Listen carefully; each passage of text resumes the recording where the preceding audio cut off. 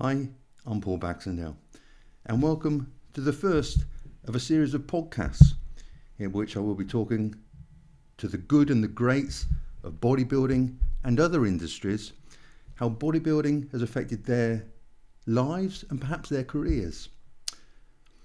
Our first guest is perhaps the world's greatest comic graphic artist, or certainly one of them and he is my own personal favourite artist since his work encapsulates the feelings and sensations of the intensity, the brutal intensity of hardcore bodybuilding training, and he puts it into his characters within his work, whether it's through his drawings, his paintings, or his sketches. The artist is Simon Bisley.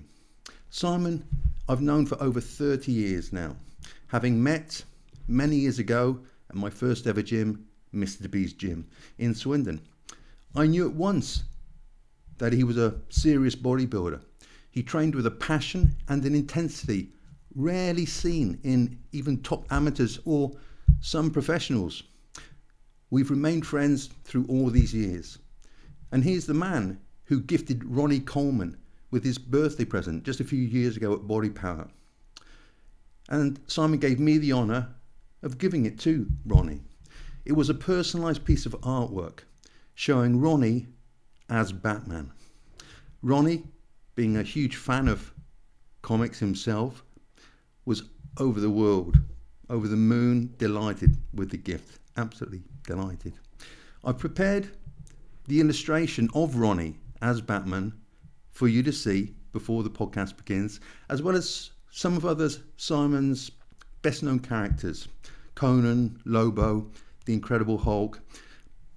Just as slides before the podcast be- begins to give you, perhaps as bodybuilders who aren't aware of Simon's work, an understanding of the type of figures and characters that he draws, and perhaps if you're into comics and the graphic art yourself, it may give you an idea of where he finds the details of the musculature within his characters. One last word I would say is an apology. It was my very first ever podcast recorded, and so I apologize for the lack of technical skills, the way it was recorded, the video, etc. Hopefully, the audio is, is good and everybody gets that, and hopefully, the video recording wasn't too bad. But in future, Hopefully that will be greatly enhanced. However, it's the first of many to come.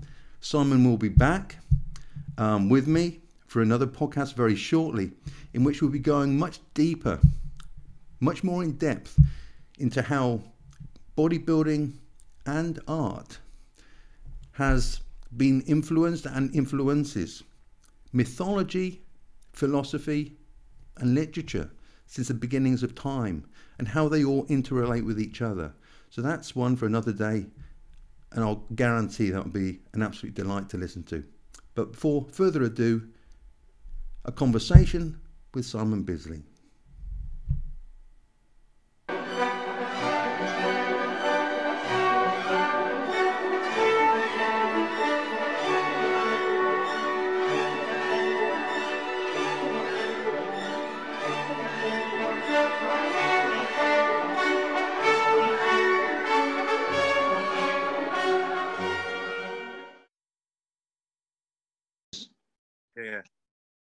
Okay, there, there, there you go.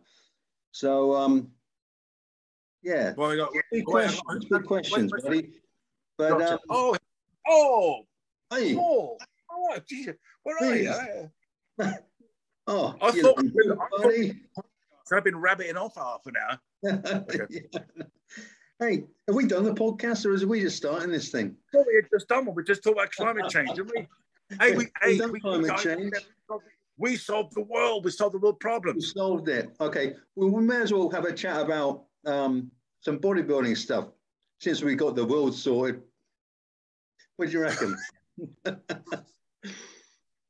Look, before before we go any further, I'm going to introduce yourself to um, to my viewers who may not be familiar with your name or who you are. Um, obviously, one of my greatest ever training partners. But besides that accolade, I'm sorry, Dorian must come just slightly above you, Biz. There. Oh, really? um, fair enough. Fair um, enough. Now, I read today you were nominated for the best artist ever by the National Comic Awards. Is that right? When? when 2002. When? Oh, 2002. Oh, God. Yes. But, but I didn't get it. Best artist ever. But you were nominated for it. Oh, that's fair enough. Yeah. 1990, you won favorite artist. Oh, Eagle. did I? Yes, you did. And 1992, oh. again, more wins, more wins. Best artist, best original graphic cover. Right. Hey. Worked for DC Comics, Batman, Lobo, right. Hellblazer, Judge yeah. Dredd. Yeah. Lobo's back. Oh, Lobo's back. Yeah, well, that shit. Lobo's yeah, back. Um, and um, did you do something on X Men Unlimited? Oh, yeah, X Men. Uh, um, I think I brought the Hulk. You've done uh, a fantastic, yeah, incredible Hulk. Much, I've, I've, dabbled, yeah, I've dabbled a lot, but you know what? It did make me bigger. The it gym did. made me big, made me stronger, more powerful. and um, okay, let, us let, let's go even further back. So, um, really? Oh, yeah, let's go further back. So, how did you start out? How did you start out as an artist? Because I, I remember you telling me either, you did you went to art college or you didn't last long at art college. Is that right? Oh, I didn't. No, no, I didn't. Well, the thing is, um, I mean, as, as far as being sorry, I can't get this camera thing right. As far as being, being like a, a, a, an artist goes, that was inherent in me. That was born in me since I was a child. I was always good at that. That's what I was good at. So um, it's it's what I am or, or what made me. So I, I, it's so so much like part of me. I don't consider it. It means nothing to me.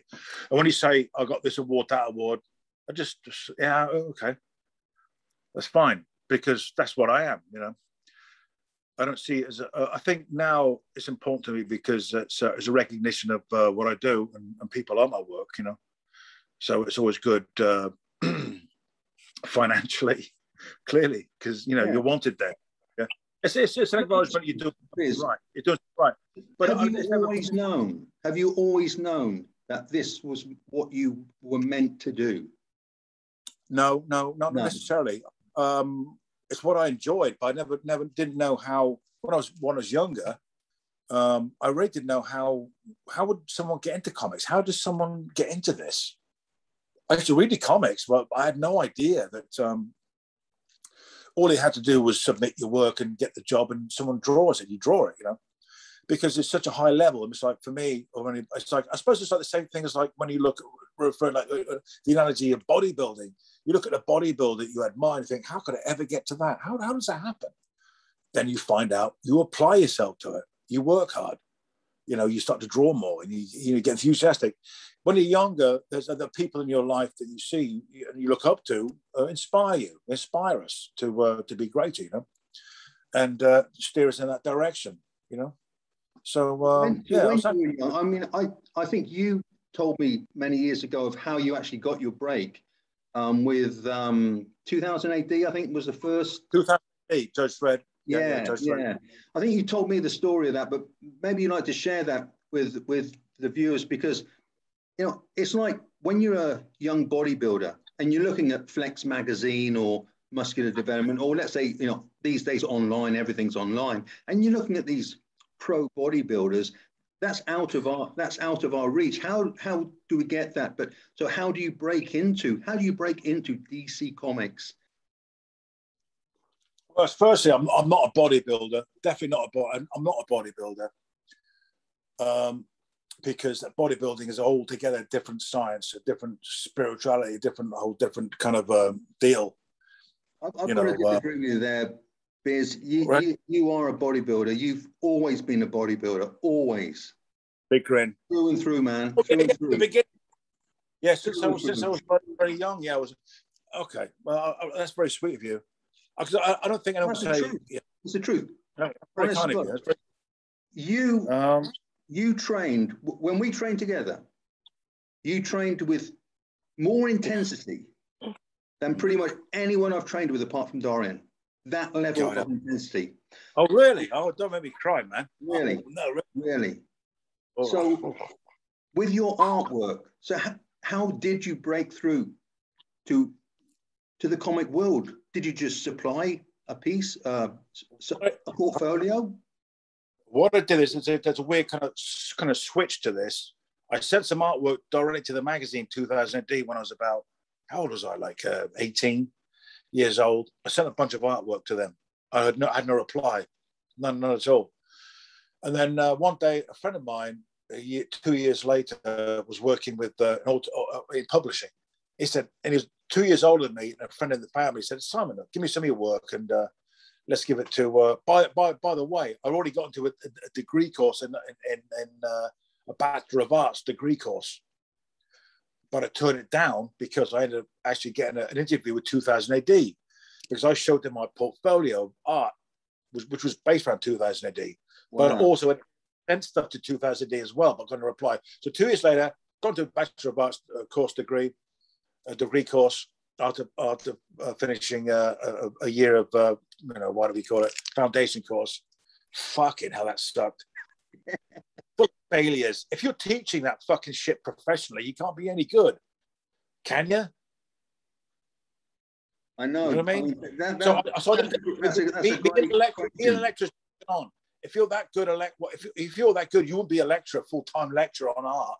You'd be fucking out there making the world, making a living as an artist. You think? So. But uh, well, kind of. But at the same time, I'm not bashing them because there were some great, great teachers, uh, marvelous teachers that uh, are, you know, really inspired me and everything and uh, just trying to smooth it over a bit. There you go. Yeah. Better now. But, but uh, people who love inspiring young people, and, and they do like that education aspect. So, well, we, well, we, we have to skip before I answer the question. I have to skip way, way right, right to now and say that we had the same kind of experience that we're not. It's now about giving back. I've got, I've got to the point of, uh, of, of, fame, fame in my own little place, you know, and now it's about giving back and uh, and you know it's like a you know bodybuilders in the past giving information and it's telling the truth and really seeing it as is and, and giving because we're so we're so thing is uh, uh, Paul we're so guarded when we're younger. In, we're competing. We're guarded. We don't want to give anything away. I don't want to tell people how I do draw this or draw that on my techniques and, and everything else. And, and, and, professional bodybuilders they keep it tight. They work in the gym on their own in the darkness or or, or in the light. However they're doing it they're doing it, but why is you, you know, so, so that's how you become a champion because it's all about the individual, all about self, like with yourself, man, like Dorian, your experience with Dorian, Dorian Yates, you know, trudging through the snow, was he knew that the people, eh, people in California were in the sunshine, loving it, living it up. But he had to walk fucking miles to get to the gym because it's so snowy, he, he couldn't drive. But let, me thinking, just, let me just tell you this little item. Does this make, does this make any sense to anybody? perfect sense. This will make it perfect sense. Dorian, when we trained, he wouldn't allow anyone to watch us. Yeah. He didn't want any distractions, anyone watching us. He didn't want anyone knowing how he did, what he did. The secret. His wife that was there, she was kind of guarding the temple gym. You know, fucking right. That was it. Fucking right. Now, now he's full of knowledge and it'll give it all away and explain because he's done that. And that's for you because he's he's giving now he's giving back. He's giving back because he's you know same thing with all of us, you know. So yeah, I mean, it was a mystery, and that's why was it was it was he called the ghost, spirit, or something? The shadow, the shadow, the shadow. It's perfect, and he was, he fucking was, and I loved the whole thing. That is epic. You you saw you saw. Uh, I mean, I wish they'd made a movie of that. Uh, you know, Pumping Iron was great, very Hollywood and very sunshiny. But God, if they made a made a film, uh, how much darker that would have been with Dorian in like uh, Pumping Iron Two. I don't know, Pumping Iron Three, what it would have been, way darker. But you can see it. That's the commitment. That's the will that he had. He knew they had the, you know, he was putting that much fucking that all his guts into this thing. He knew he was going to win, and he felt gave him the strength. But that's an old, that's another whole series we're going to talk about. I think on about the fourth podcast, isn't it? We'll get to that point at some point. And, and you know, we we can do all that, but I've, I've got to say, look, I, I I've been aware of your work ever since we met. You know, when you first walked into my gym, I didn't know who you were. I had no yeah. idea who you were. I didn't care who you were. You were a bodybuilder. You wanted to train. I wanted to help you. That's all it was. We end up training with each other. Hey, cool. And you've gone again, man. no, I, I, just some someone. What the fuck's gonna ring me now? Sorry, it's my mechanic. Hey, so, oh my! First time I walked into the gym, the, I got to jump in there. The oh intensity, the intensity that you just described. Yeah. Dorian, how we trained at Temple. I see that same intensity in your in your illustrate your characters. They scream intensity. They scream. Look, that's where it comes Conan, from. Your Conan and your love. They scream intensity. You don't know shit. You can't draw or write poetry or, or do anything with any reality or any kind of real truth or real spirituality, real guts that will translate from those that that uh, that uh, guitar made of old wood with iron strings across it. You strum it. If you've lived and experienced, the song, the tune will mean something because it becomes there's something behind that. And so one of my drawings, what was coming behind that was the intensity of the training I was doing, like with you, and, and, the, and the blood and the guts, and it was it was a horrific, horrific. I mean, to know, understand muscles and and uh, and how they work and they pull, stretch, and everything else I could visualize that and see how it would work in my artwork. But it's uh, also there's something so that translates. So when I would eventually draw like superheroes like the Hulk smashing shit up, I know what it's like to smash shit up. Well, we, you we lift a weight, wasn't smashing shit up, but the intensity, the rage, the anger, all those emotions were there, you know. And uh, that's why, that's what, like I said, that's why I drew Jesus like I did, you know, because I saw him when I was lifting. I had 500 pounds on my rack to my back, when I was squatting. I saw a desert plain. I saw nothing, nothing. And then Jesus came to me. Someone shouted to me, "Do you see the burning tree?" I know. It's kind of a it's, it's a joke. I, I, kind of made it up because it's funny, but it that's the, there's something very real there. Oh, that's how far you do go. That's how we take ourselves physically, physically and mentally. That's how we take ourselves because we don't want to go there, but we're prepared to, to, to lift that fucking ultimate weight or push ourselves that fucking far when he goes that far, that far, that far, and then, as the magic words have you said, three more, but three more, three reps. more reps, three more reps, and that takes Always. into a realm. That take so when we when I so when I drew anything or draw anything of, of coming any kind of intensity with the superhero images, I've been to the gym, I've done it, I've earned that, I can draw that because I've fucking mm. felt that and seen it. You know. So when did you when did you start training? It, it, it, the thing is, what's interesting is uh, whilst we're like, you know, uh, patting each other on the back and praising each other, I mean, you know, it's interesting because you're part of my DNA. You're part of what made me, you know. And I think how Dorian inspired you, and uh, you, you, yeah. you, uh, you saw what Dorian you know, translates. So we, we, are giving and giving and, and, and expands. It gets bigger and bigger, you know. And uh, so it's interesting. I don't know Dorian Yates. I don't. I don't know him from Adam but his DNA, part of his DNA is in me through you. And it gives, it goes on. And people who aspire to my work, they have that as well. So it's interesting that Dorian is just a bodybuilder, but he's more than that. Like Arnold was more than that because he inspired a generation of musicians, artists, and everything else. I mean, Dorian's physique inspired my Batman drawings, you know, and even yourself. I saw I saw pictures of you when you when you, you, you peak, and you looked incredible. But to see, see, I mean, this, this sounds, sounds too weird, but to see muscles close up in, in, in truth, it's astonishing. It's funny because when people say to me, uh, uh, "You're a bodybuilder, aren't you?" And I, I laugh because people see me, uh, I'm thinking, "You have no idea what a real body looks like, bodybuilder looks like, because it doesn't look like me. I look like a guy who trains, but you, bodybuilders." I remember walking walking to a gym about uh, two years ago, a local place, and there was a proper bodybuilding there. I, I walked in there, I looked, I went, "Holy fuck!" Got like a silverback, a shaved silverback gorilla. Do you know what I mean? There's a big altogether difference, altogether yeah. difference, and different dedication. You know. So when I say, uh, uh, you know, there you the, crazy, the crazy thing is, that's like I was 310 pounds off season, yeah. 310, 350 yeah. pound off season. That's how Dorian made me feel. I, I looked at him and went, oh my God, what the f- is that? Seriously, I, I, the first time I saw him up close, I saw his back. And it, it was ginormous. I was like, what, what living beast has got this type of muscle on his? Is that human? Is it some sort of throwback to the fucking dinosaurs or something? It was the freakish thing I've ever seen. But that's what I wanted. I wanted that. I didn't want judges to go, oh, that's a really nice physique. Oh, Paul's got really pleasing lines. I wanted them to go, what the fuck is that? oh, look, very pleasing lines. No, I think it was something Dorian, Dorian said. I think Dorian said that. I remember he said something. Uh, like I said, I don't know Dorian from Adam. I don't know. But I'll pick up bits and pieces because I'm, I'm, I'm a cannibal for knowledge, you know. And I remember Dorian saying something, Mr. Yates. Sorry, I don't know. I won't call him Dorian because I don't know Dorian. I'll call him Mr. Yates as respect, out of respect.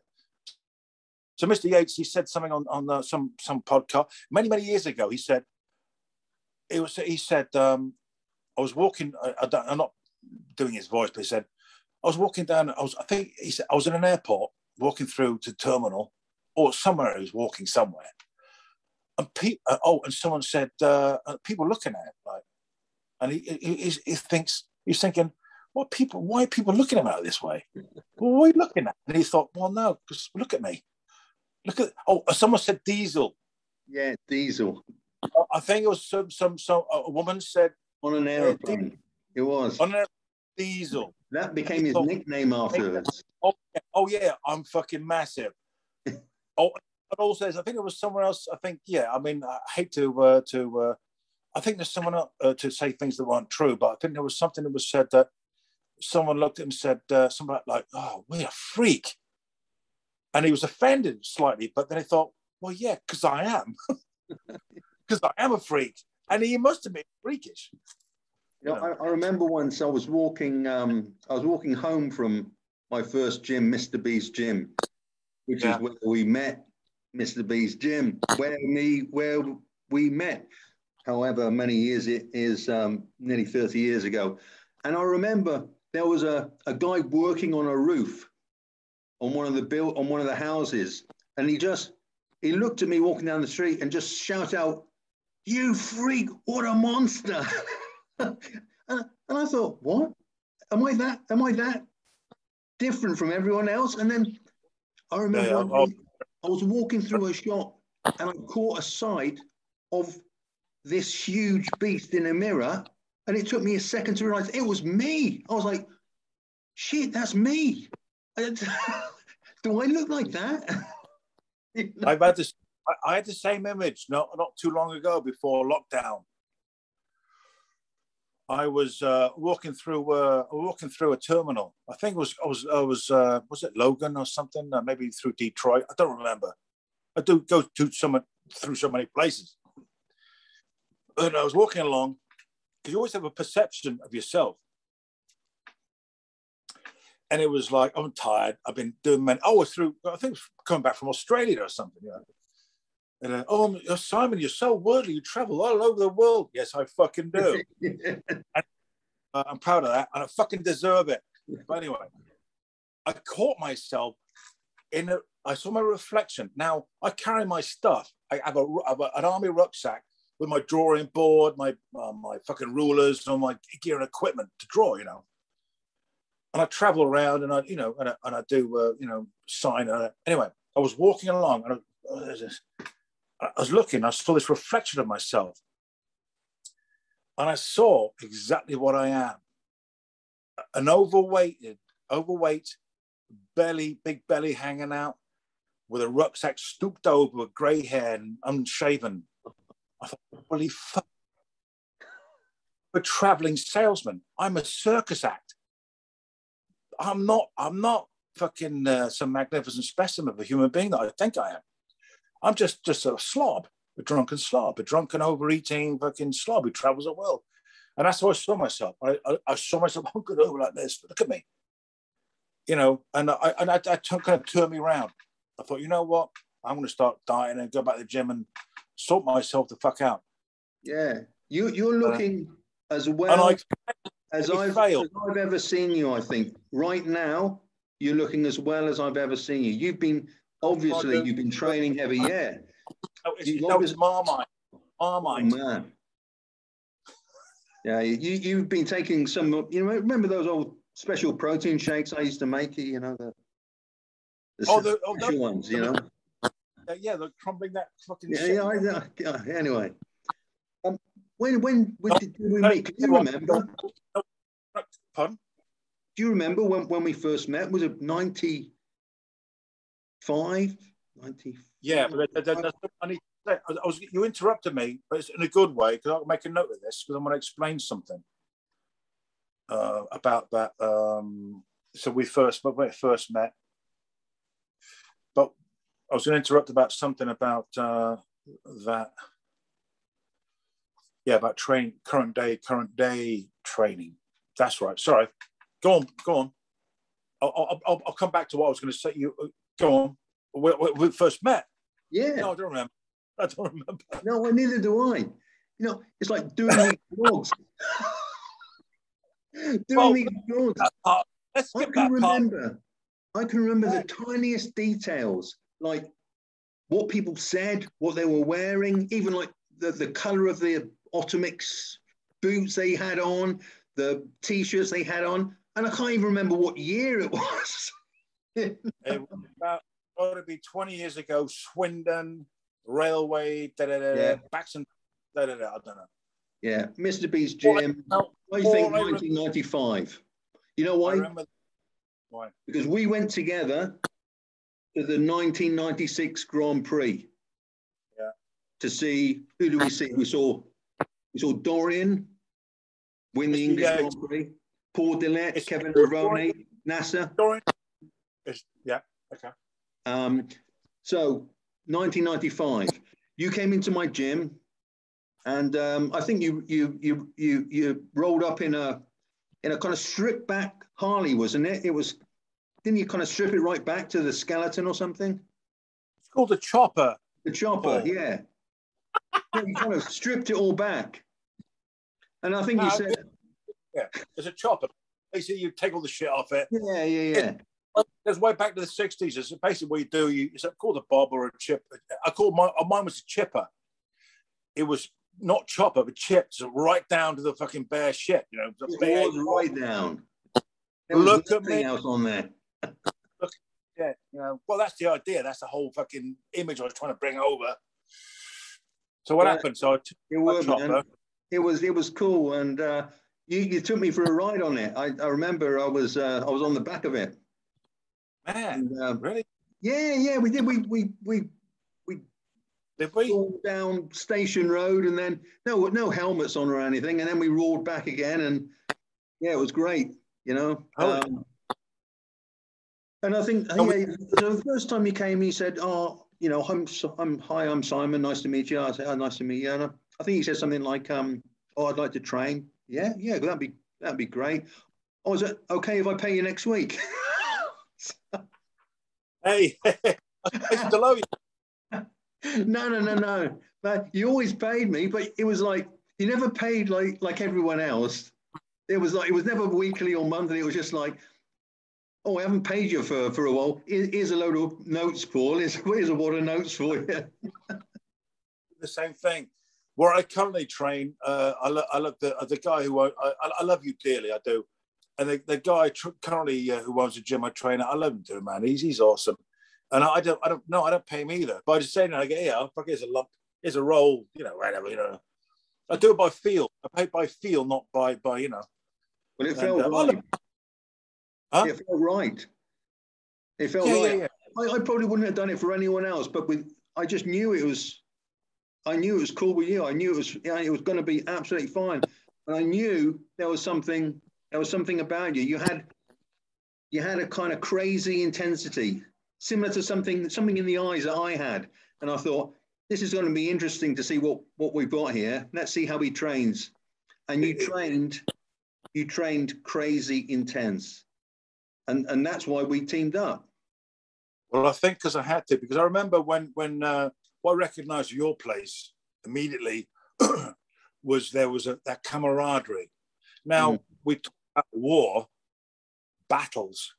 What's innate in man, what's innate in us as men, as young men, or slightly even older men, is they kind of um, it's, un, it's unexplained, but this what we do. It's a conversation for not for not being in a war. In the meantime, we crowd football fields or we we box or we do something physical. And I think I think what it was is that men bond together. I think we do like a wolf pack, a pack. Mm. We do, we do. And I think that's what happened in the gym. Is you get the group of guys I came across with you, your your group of friends, but we weren't friends. I don't think it was about being friends. It's about being who was there was there, and now let's all fucking go. It's about uh, men are drawn to each other for, for some battle that does that, that may have existed but doesn't. So we compensate for that in the gym.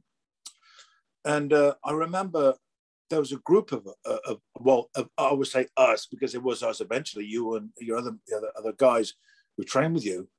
But we go relentlessly through this whole process of, like, for example, I would say the, the leg press, the leg, leg press every fucking Sunday. Yeah. Now, why would I? Well, why would you want to go there on Sunday? Why don't I go there? I, I described it un, unrealistically and over the, I was it's over the top and disrespectfully, kind of in a way, saying like it's like it's like me. I was like driving to my own execution without any without any guards. I'm going there. No, I'm going to be. I'm going to die. That, that's an extreme. I'm not going to die, but I'm going to put myself through some serious shit. So every Sunday, people in church. I should be in church. Um, yeah, bless Jesus, all right. But no, I go to Baxendale's fucking gym and talk, get get fucking tortured on the fucking on the rack. We called it the rack, you know, the the the, the, the, the what do you call it, the uh, leg press, the leg the, press. the leg press. Load it up, load it up. I let take it down, up it, up down, up and down, up and down we go. And it's like it was horror. It was, uh, uh I knew it was my turn. Everyone knew it was going to be their turn.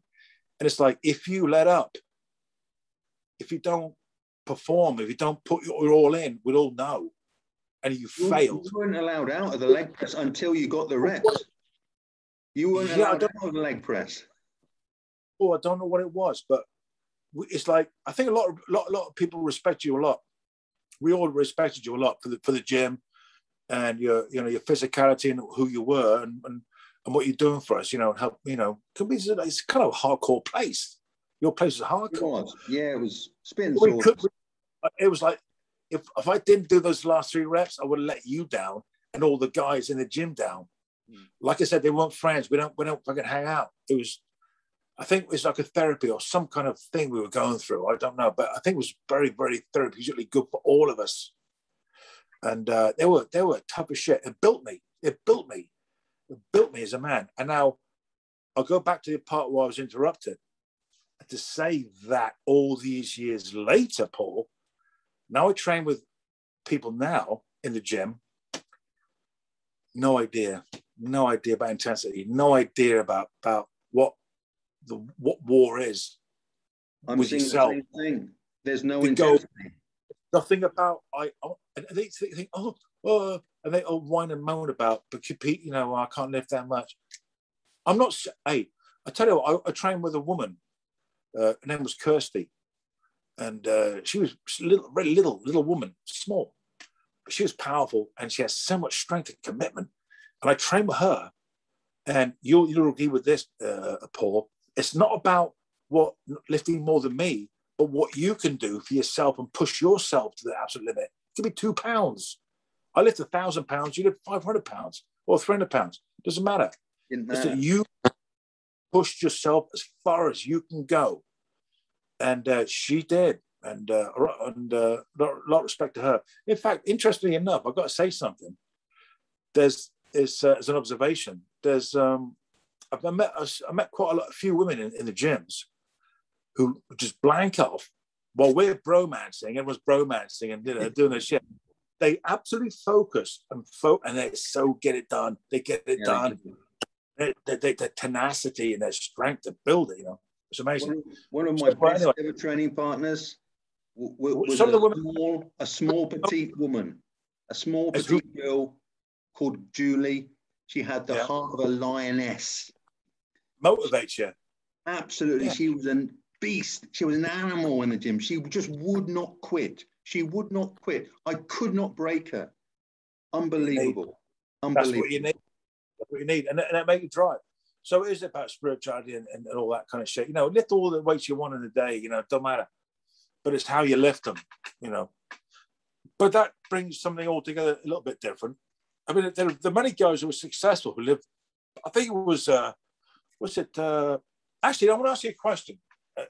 What what era were you in? What era you look were you looking at when you were inspired? Remember and Fitness magazine? Yeah, yeah. When were you? What you're looking at then? When you're when your inspiration? Originally, late 1980s. Like Lee Haney. Yeah, Lee Haney, Haney and big inspiration. Was was going. Berry deMey era. Platz. yeah. Platzy was a big, big inspiration. Was Tom Platz, Berry deMey. Berry deMey, huge inspiration. For conditioning, Rich Gaspari, his conditioning just blew me away. Well, yeah. What about my favorite? What about, uh, yeah, oh God. Yeah, that, yeah, because I missed that uh, uh, whole other era. But it's interesting because all we, what we have, muscle and fitness is a what there was muscle and fitness and something else, wasn't there? What's the other one? Flex magazine.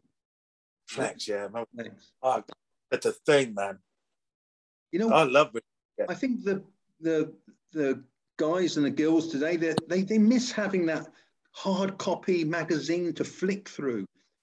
It was something tangible to hold in your hand, look at the pictures and read about what they're eating, I mean, it probably wasn't what they got, what they're all eating. It wasn't the supplement stacks weren't their supplement stacks, but it was just seeing the photographs of them in contest shape, training, and just thinking, that's that's what I want.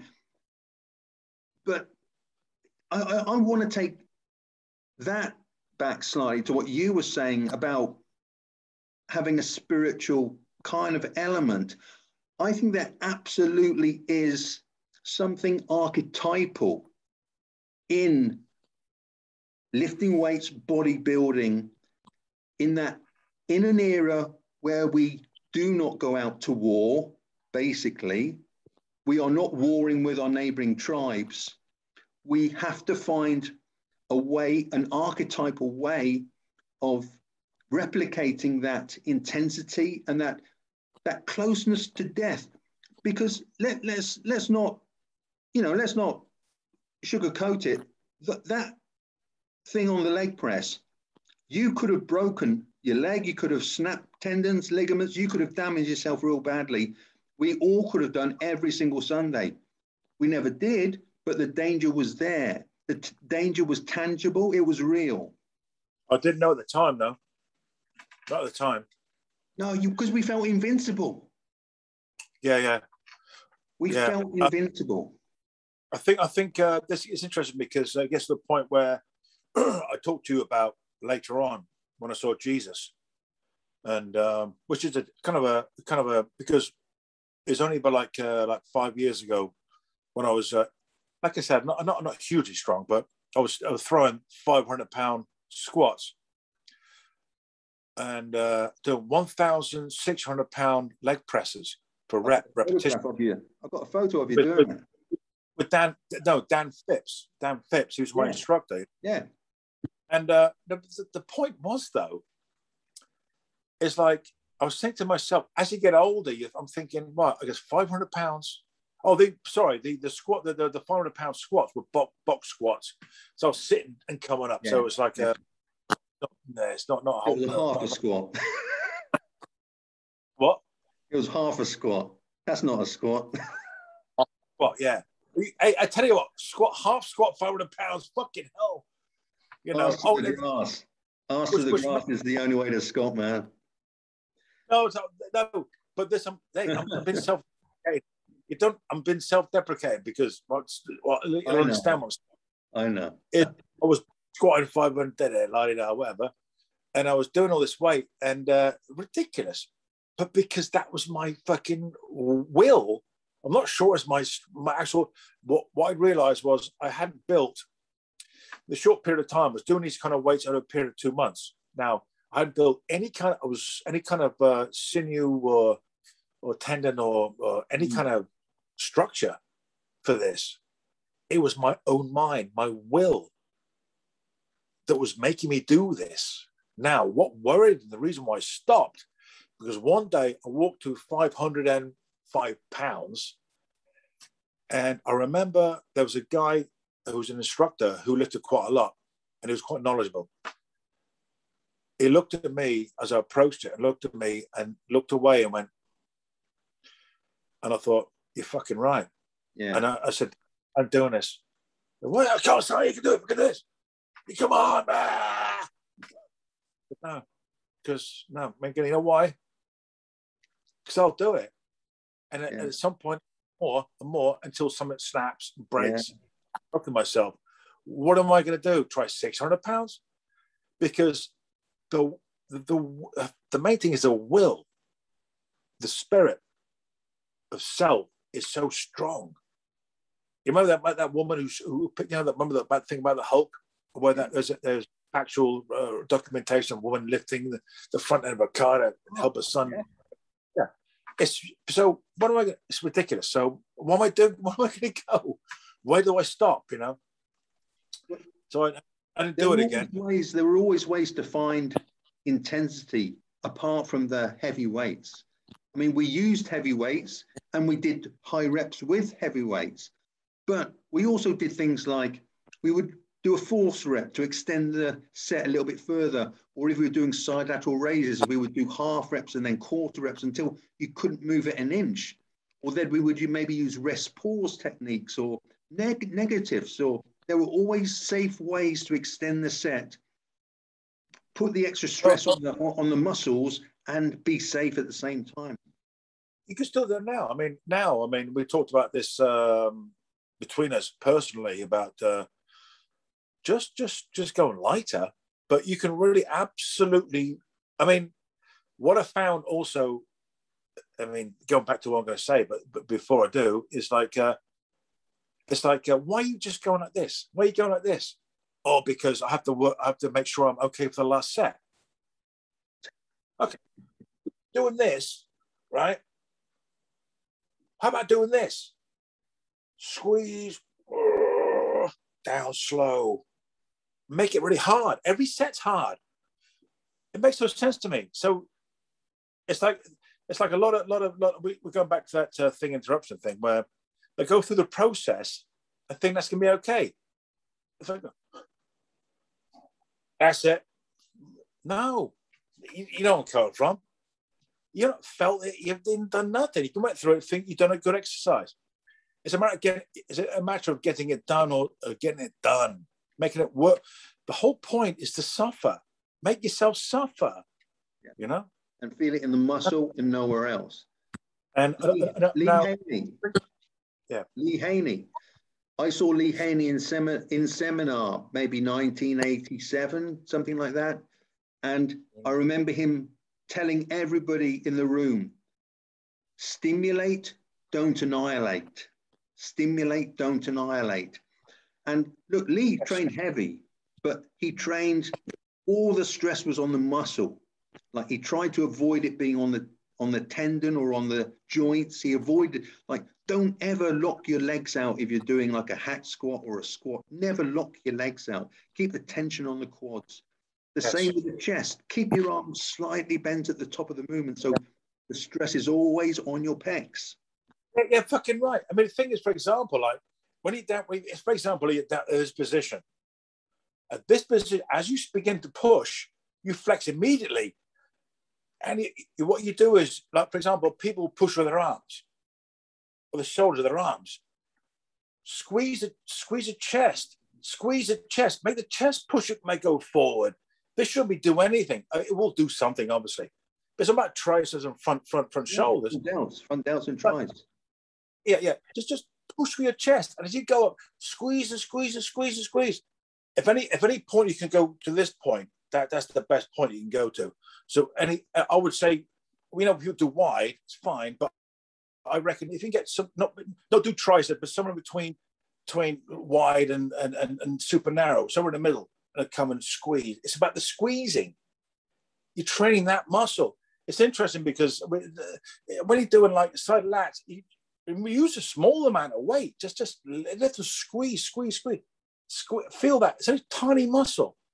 You're not working the whole fucking thing. If you want to do mass, then there's a mass thing. But I think you should keep mass to mass, and uh, but the individual with bodybuilding, so you know, it's not. I don't think. It, yeah, you're right. It's not about. I, I think people, oh, if I lift heavy, I get big. But you do, you will get. You will, I think I'm. Oh, I'm, around, I'm going so far ahead of myself. I, I think it's time and seasons as well. You know, it's like in in, in our fifties, we we shouldn't train heavy. There's no need for it. We're, we're not going to be. We're not going to grow much more muscle tissue at our ages. We we're lucky if we cling on to what we've got. You know, cling on. Yeah. when, when we were in our twenties, when, we were in Mr. when we were in Mr. B's gym, that was when that was when we grew. And you know, I remember one crazy day, crazy, crazy day. You wanted to lift we were doing chest and you wanted to go pound for pound with me. Now, I was probably 300 pounds at the time. I don't know what you were. You were a lot lighter than I was. And you wanted to go, you wanted to use the same weights that I was using. And then we then we got onto incline flies.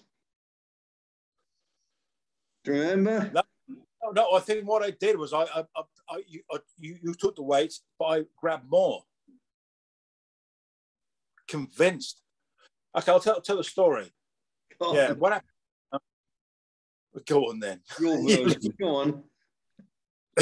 what you go on? oh no, it is wonderful. I'm very proud of this.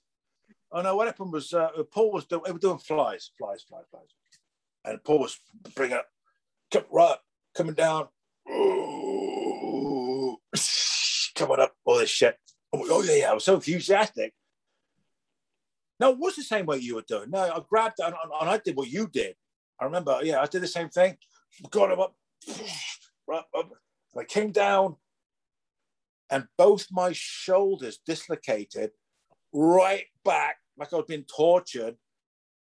And and as as as my shoulders came right back, heard a no, it was some water here. It was like mm. fucking whole no. neck no. the fuck off ripped off. It was, it was I think it was from, I don't know you can see. Is it there? From, from here to here. Anyway. All, all I remember, the craziest up, thing, yeah, the craziest thing though, two weeks later, you're back in the gym, your chest is, it feels like it's got steel wires. Yeah, in here, connecting here, it. So it was like your pec was your pec was still attached. I think you're made of. I think you're made of titanium, buddy. I, I think you're a. I think you're what a happened, mutant. What happened? Happened was, it tore.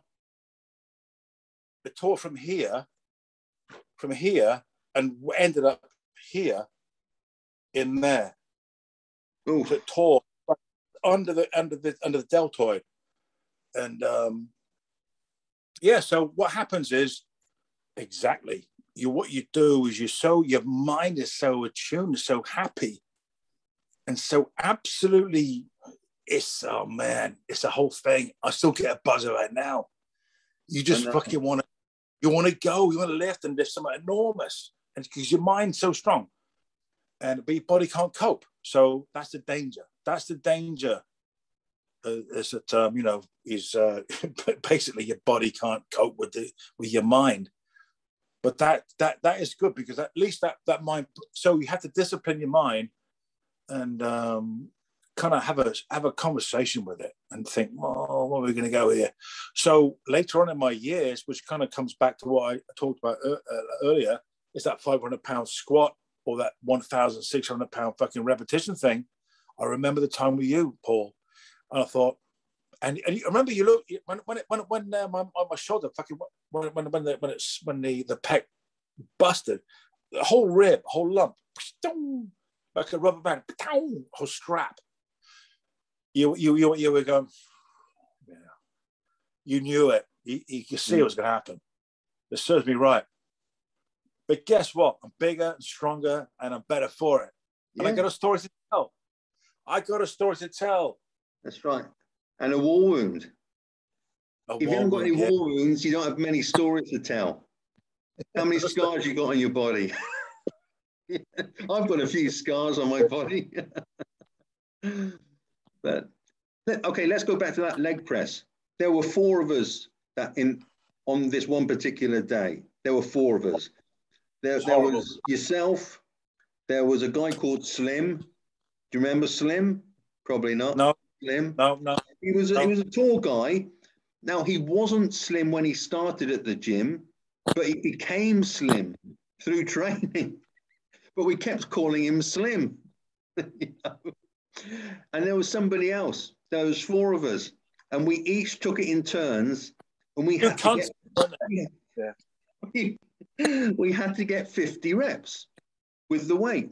And you weren't allowed out of the leg press until you got 50. You could stay in there all day if it if you had to. You were going to get 50 reps. And who, who was in there? There was it, Slim was in there. And he was on, I don't know, rep 30, 31. You're fat, uh, big, yeah, big guy. Yeah, or, that's right. Or, no, no, comfortable. Yes. It was comfortable. Yes, it was comfortable. Yes. and do, you remember what he screamed as? you fucking bastards! I fucking hate ya! remember that? I told the story today. He's on there, looks like, oh, fuck off, all of you. and he did.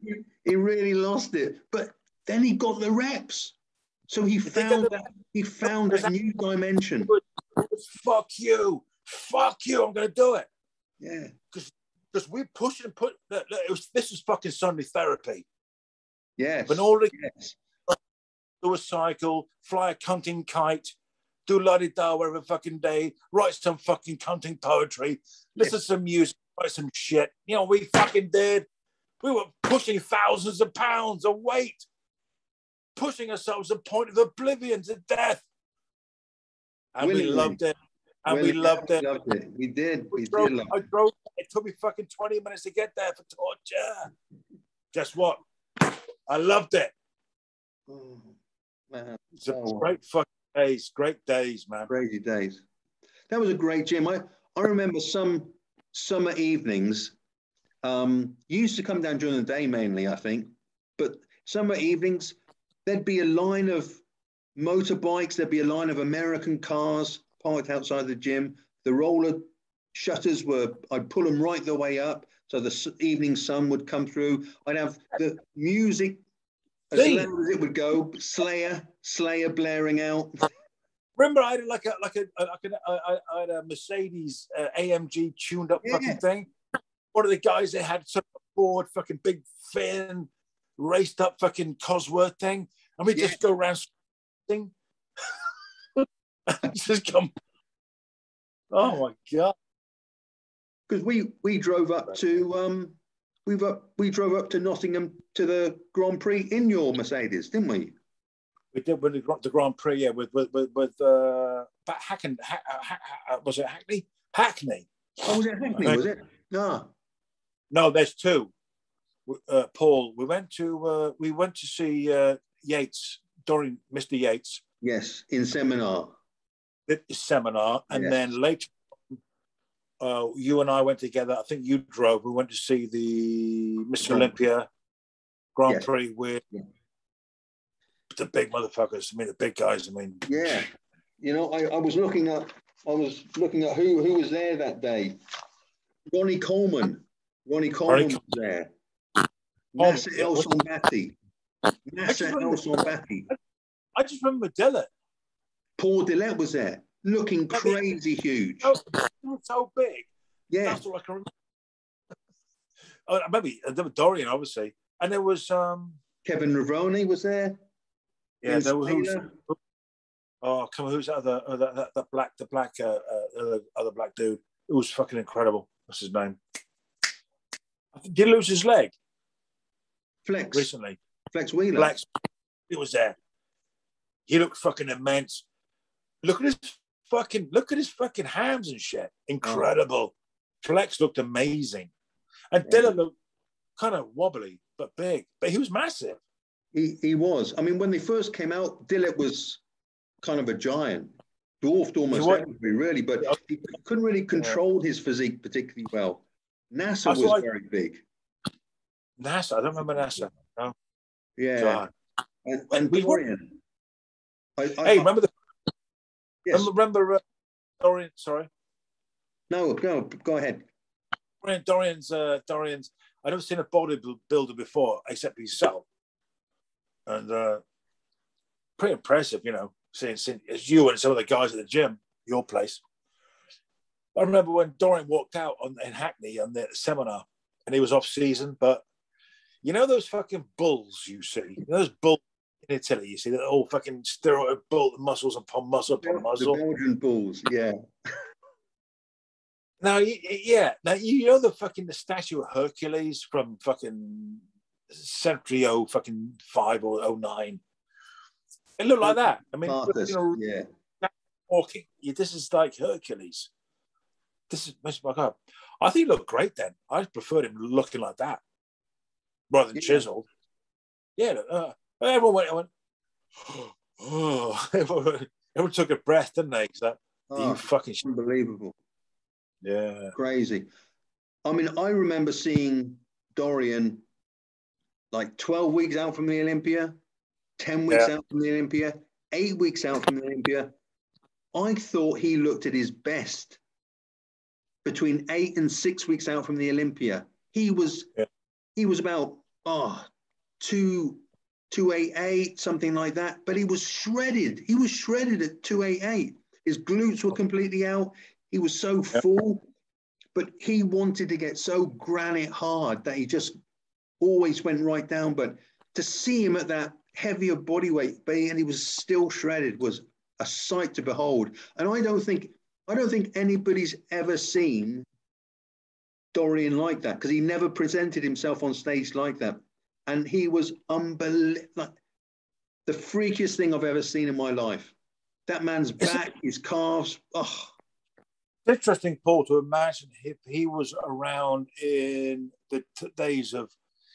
Look, our fantasy is to imagine what would Arnold be like if, if he was in Dorian's age with technology and I, you know, the techniques that are. But what if what if Dorian was in in the uh, the seventies with Arnold and, and Columbu, with that physique and and his his with with the fuller size thing, you know? He will. I mean, if you if you get if you put, for example, yeah, if you put Dorian amongst in, in his off season where he look would look like a sixties or seventies type of guy, yeah. would have fucking blown them all away. You do you think? It's, it's so hard to say because we, we don't know what Arnold or Lou Ferrigno would have looked like with the with the Yeah, I, don't- know, but look the at the advantages of, of, of the 1990s bodybuilders. It's hard to say. Like It's hard to know, say. Arnold, people used to criticize Arnold for his for his weak legs. In 1974, he had tremendous legs. You know, it's like when he wanted, he had bad calves when he started, but then he But grew a great calves. So it was like But- his mind was stronger than his body too. But it appears to me, looking at everything, that it was a small window of where he was really the best. Yes, very, yeah. 74, 75. But the the problem is I have is that um no the problem I have is that even when people said uh, Arnold shouldn't have won, he still had the best aesthetics. He did. He had stage charisma too. That's what he did have. And, and he kind of won the crowd over. Yeah. Okay. Who could have beaten Arnold? And, and uh, Well, I, I think I think probably Roy Callender was was for me. He he should have got that, but difficult, difficult. Who's that black bodybuilder, the French guy? Portier, or what was his name? French, French. Serge Nubret. Serge Nubret. Serge Nubret. Look at Yeah. Serge Nubret. Oh, don't understand. unbelievable. Perfection. Yeah. Nubret per- lifted. Uh, he lifted uh, fairly, uh, fairly lightly, but intensely. did. Apparently, He did train very lightly. looked magnificent. And he looked magnificent into his later years too. What a physique! He was way better than Frank Zane. Oh, I thought. I thought he had a better, I, I think so personally, but better than Arnold, didn't he? I, I think so. I thought Serge Nubret was absolutely incredible. Standing naturally, not moving, not posing. He had he, his perfection. Mm. What about um? Oh, I my, my friend Serge Serge uh, Serge Oliver, Sergio, Sergio. Yeah, hell, you know, I, um, Mag, on fucking believable. my my my father-in-law, my father-in-law, Cuban? He met Serge Was he Jamaican or Cuban? Cuban, Cuban, yeah. Cuban. Yeah, my, my father-in-law, he met um, Sergio Oliva when he went over to Australia for a, like a guest posing seminar tour. Yeah. And and Kurt said he had the biggest hands of anyone he'd ever met. They were like shovels, two shovels on the end of his arm. They were enormous. He, he said he was he said his favorite bodybuilder was Arnold by a long way because he was Austrian too. Kurt was Austrian, so obviously Arnold was going to be his favorite. But he said Sergio had the most impressive physique, like his waist to chest ratio was unbelievable. And But look- arms, oh, and look at Lee Haney.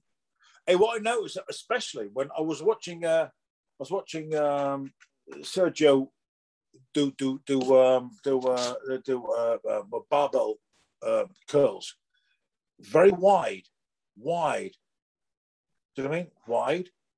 She was coming really, really wide, so it was like coming and tw- you know, pushing, pulling that. Put you know, if you come in here, He was- really, he's, he's really, really wide. So it's like extending and push, pulling up that, you know, tiny muscle, yeah. tiny, tiny muscle. So, I mean, I, I, I remember we used to talk a lot about, um, Oh, You're- Paul, can you give me, Yes. two minutes for, for, for, for a little? yeah.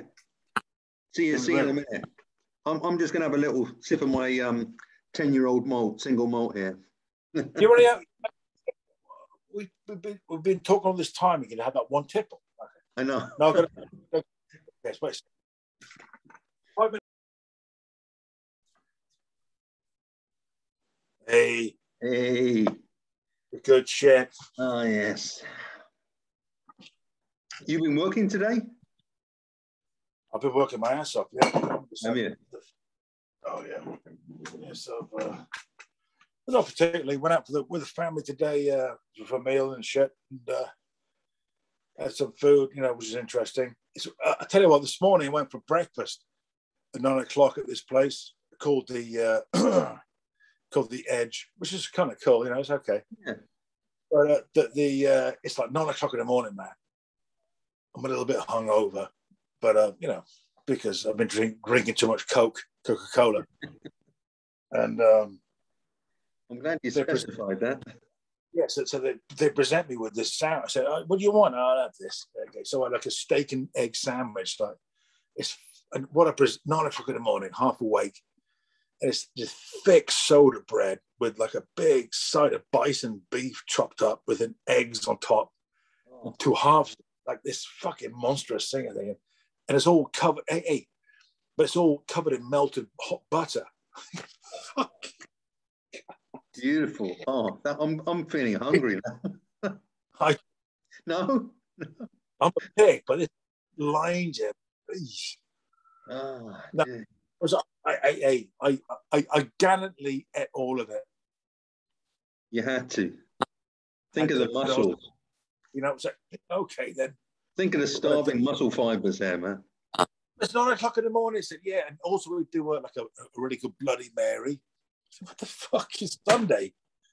Should not be in church, Paul. Huh? Should Sunday's, be in church. Sunday's leg day. Sunday's leg day. I've done my leg days. Oh. They were so, fucking amazing. There's the Grand Prix. The one thing I remember most about the Grand Prix is when Dorian came on stage, you got on your chair and screamed, Beast, Beast, Beast. It. No, no, I, I was a bit me fucking there, wasn't it? it was you. Like, what's wrong with him? Oh, yeah. we were all doing it. We, everyone was screaming it. The whole place erupted with beast, beast. But, but, but hey, but why are we?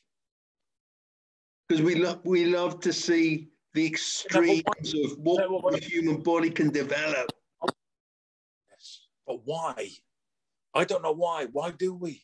Because it connects us with an archetype that we all want to transcend into becoming. And we spend life, we spend our whole life trying to become this thing. And it doesn't matter where, whether we get there or not, but it's it's the it's the effort in the attempt that every day we strive to become more than what we were yesterday. But why do we as men want to see other men uh, uh, ourselves? Do we see ourselves in them? What we can be? Do we, like I said, them. the compensation for war, football is war. It's yeah. compensation. It's a needing man and needing us as men, especially younger men, for war. So football replaces that. The reason why we fight in, in the streets and what we are, because we're, we're, we're, like a warlike race. I mean, the Brits, we English, we, we, were invaded by the Vikings, the yeah. Romans, the Germans, all the fucking crazy fucking invaders of the world. And it's innate in our genetics, and we just want war. So I don't think we we're looking for war, but we just can't help ourselves. Very much for a tiny country, Britain, we're always up for it. We're tiny. Yeah. Apparently, I talked to a guy who does maps of the world, maps, and I don't know yeah. there's a name for it.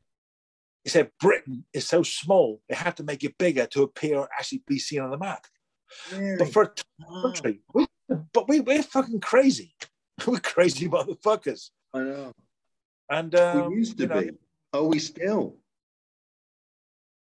I don't know. Maybe it's I don't know. maybe. I mean, I don't do know. what, what do you see in the gyms today? Do you see people going crazy, insane, fucking hardcore, screaming, yelling?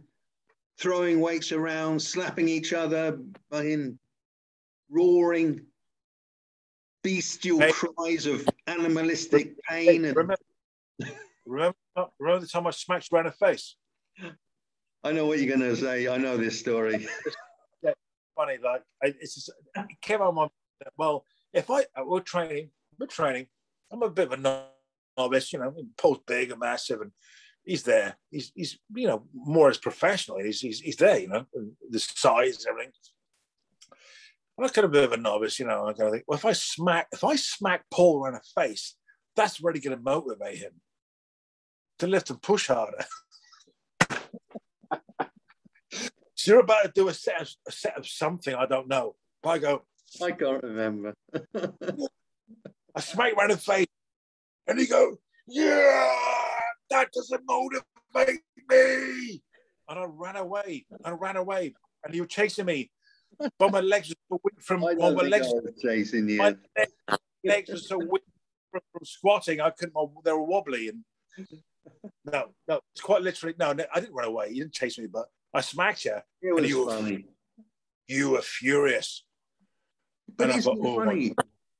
What motivates one person doesn't motivate someone else. but what's funny about it is totally random. Yeah. You just got smacked it was random. It was, it was crazy. That, that, oh, no, that was pure biz. You know, that was like, that was the reason I loved you and I love you still because you, you still do that. I'm sure if I went to the gym to you with you tomorrow and we're going to be in the gym together at the end of the month, remember? Yeah, we're training at the end of the month. Yeah. You might slap me around the face again. I'll probably be more easygoing these days. I'm chilled out now. I go, yeah, so next, so no, before, so if I do it to you now, we go, that doesn't motivate me. Yeah, okay, maybe different. Maybe a little bit, maybe a little bit harder. I don't know.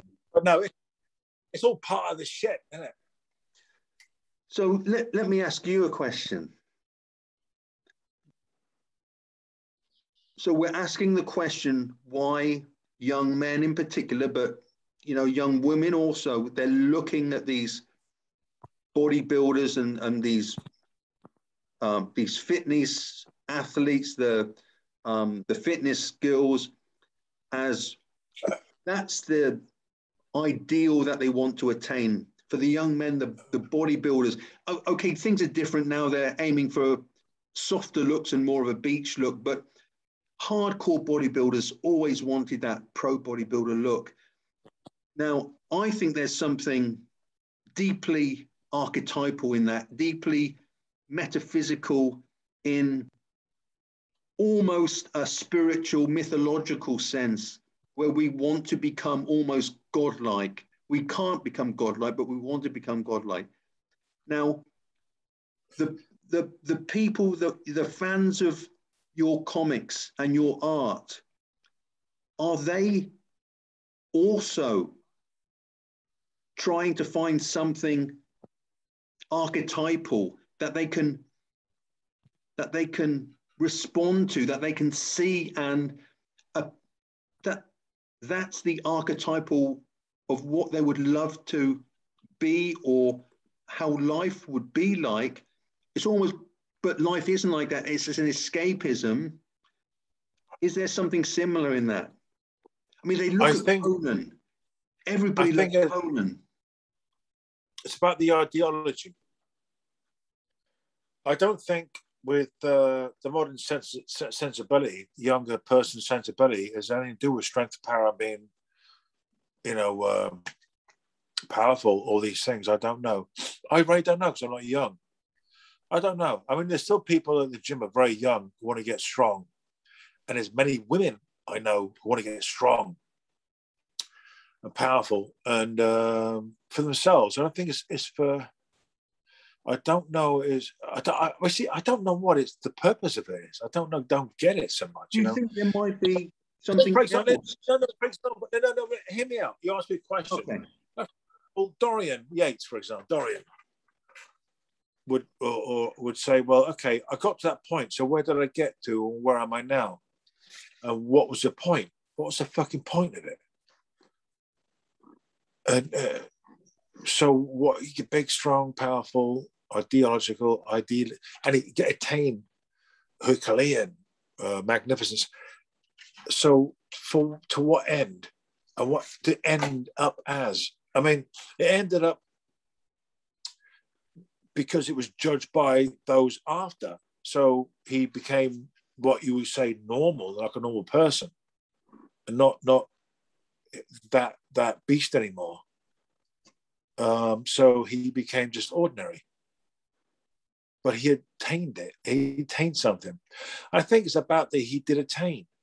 He achieved. And that, like an artist was going to do like the Sistine Chapel. What what Dorian did was remark, remarkable in the sense that um, I think, you know, he, he took took uh, uh, being a bodybuilding seriously and took it to the, to, to the very height of things and he's very analytic and very kind of sensible in his way of thinking and talking. You listen to him, and he got to where he needed to go, and he achieved it, and that was enough. And he knew when to dip out and carry on with the rest of his life, you know. So he's legendary in the in that he made a massive statement, and it's like a, a, a blueprint for all eternity. It's like blood, guts, blood and guts.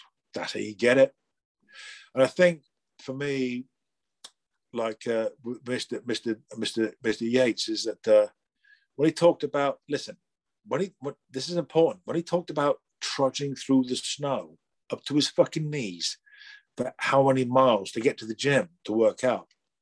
whilst he knew everyone else was working out in the sunshine and the love it, he, he knew he was working harder. That means everything. If you're a writer, an artist, mm. an individual, whatever you do in your life, what Yates did when he trudged through that snow, when he walked through that snow and his knees and legs were aching he, to get to the fucking gym to get shit done, is a representation, is, is, is, a, is a, a, hallmark of what, uh, like a, a blueprint for everybody to, to see. You know? yes, exactly. If me trudging through the snow to get to my shoe to paint the picture. Yes. For, for an artist to paint his paint to paint his paintings, for a poet to write some poetry, for an actor to do his part. Yates, get through the fucking ice and snow and that.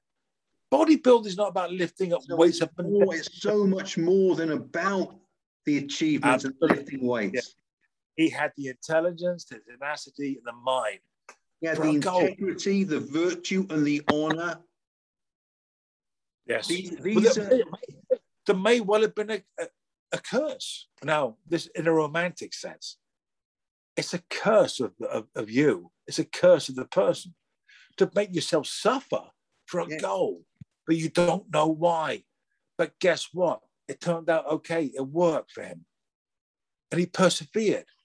Uh, but uh, you know, every poet, every fucking orchestra a writer who wrote a great orchestra, everybody who writes a great metal piece, uh, everyone writes a comic book, everybody who writes um, anything. Dorian on that on, on, walking through walking through the snow, bang on the button. Says it all. For, for, everybody who goes through any kind of life, just trying to make yeah. it in the world, trudging through the snow on your fucking knees. Yeah. And, and that's such a great lesson for everybody. Such yeah. a great lesson because it shows it didn't matter that he was six times Mr. Olympia. What he showed was the perseverance, the determination, the tenacity. He showed the honorability, the integrity, the virtues of trust. You knew what he said he would he would stand by his word. He was a man of honor. When I knew him, you know, what he said he would do, you could count. He was absolutely rock solid. Now, those are attributes that can you can put across any type of job or artistic endeavor or whatever you want to do, whether you want to be an engineer or an artist or whatever, maybe those archetypal attributes, that is what's crucial. And maybe these these are the lessons that we can be taking from people like Dorian, people like Lee Haney. I think more could be learned from Dorian Yates accidentally than like Arnold. Yes, I, I agree. I, I think I I'd almost say that like I don't know Mr. Mr. Mr. Mr. Yates, but I say that he was had a purpose and he doesn't know really why. He was driven by something, innate spiritual something altogether dark and beautiful that drove him to gain to gain this. It wasn't for glory, but ultimate glory would be his to be gained. But Arnold's was different. It's mm. almost like he wanted a celebrity, wanted to gain. Yeah. I think Dorian saw it almost more mechanically. Maybe he didn't want that. Some, it, was almost like a monk in a church. Dorian Yates was like a monk in a church, serving his sins. Not, I'm not saying he had sins, but he was doing what he had to do to get to where he needed to go. A dark past analogy, because there's something I wanted to, something I wanted to ask you about. It's almost like perjury. Yes. Redemption. Again, so we're moving Redemption. into a spiritual realm again. Isn't there so something, Dor- something archetypal about yes, yes. about dying. Yes. Something, some part of you has to die. Some element of your personality, something within you has to die in order for you to be resurrected anew, better, stronger. Yes. It's like the Jesus crucifixion story, but it's almost like archetypal to everyone. We all have to, at some point in our lives, we have to let certain things die off within us because they're no longer useful to us. And we have to become anew again, better, stronger perhaps, but stronger in different ways. I, I don't know. But I'm what I, what I, I, I look back on my career and I'm I know I'm always changing and I'm always learning. And I look back on my bodybuilding career and I I love I love that period of my life, the golden era where I was competing and training crazily, insanely intensely. Loved it. And my mind's like, I can still go there in my head today, but I'll never go there in the gym again today. But I think part of that, part of me has died almost, but in its place has resurrected something else, something where I'm, I'm trying to improve other aspects of who I am in better ways. Like, what do you think? Well, that's what I'm saying. That's what I'm saying. I think with um, it's all about that. I think it's it's all about self improvement, self self worth. I mean, that's that's that's why it kind of kind of said what I said about Mr. Mr. Yates and himself. You know, it's like um,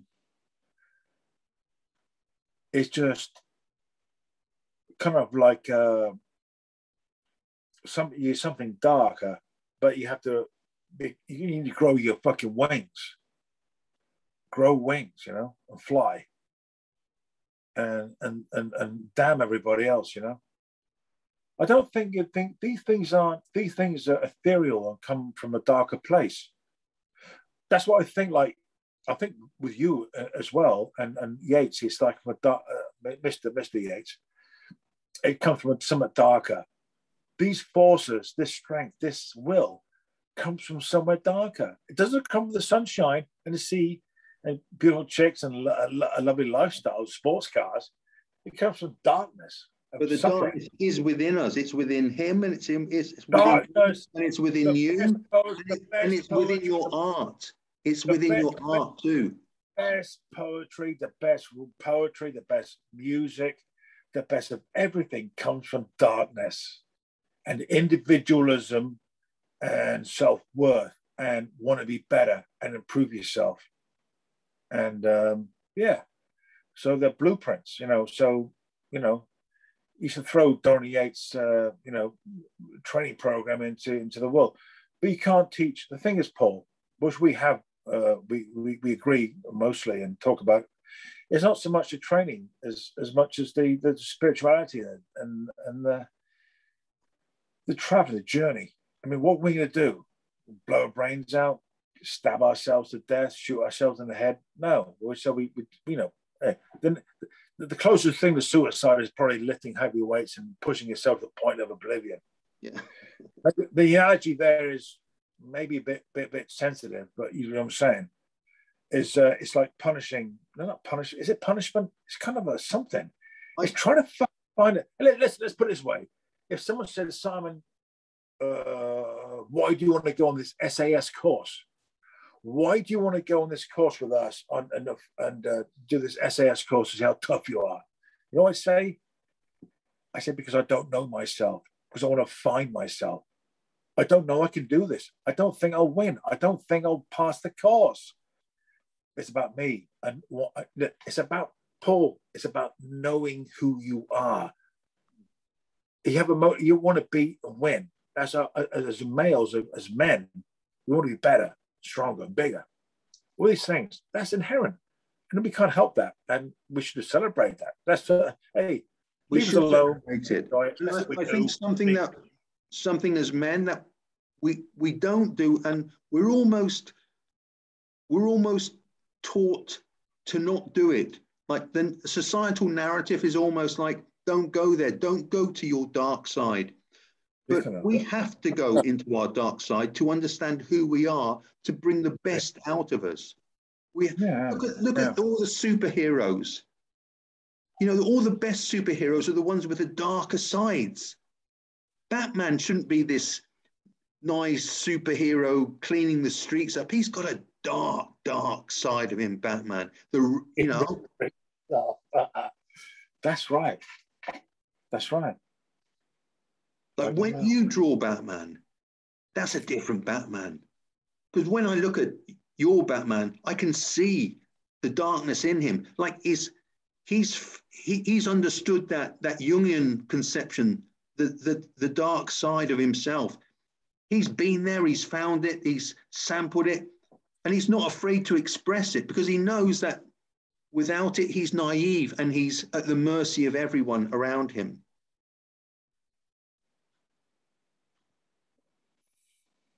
No, you're right. You're right.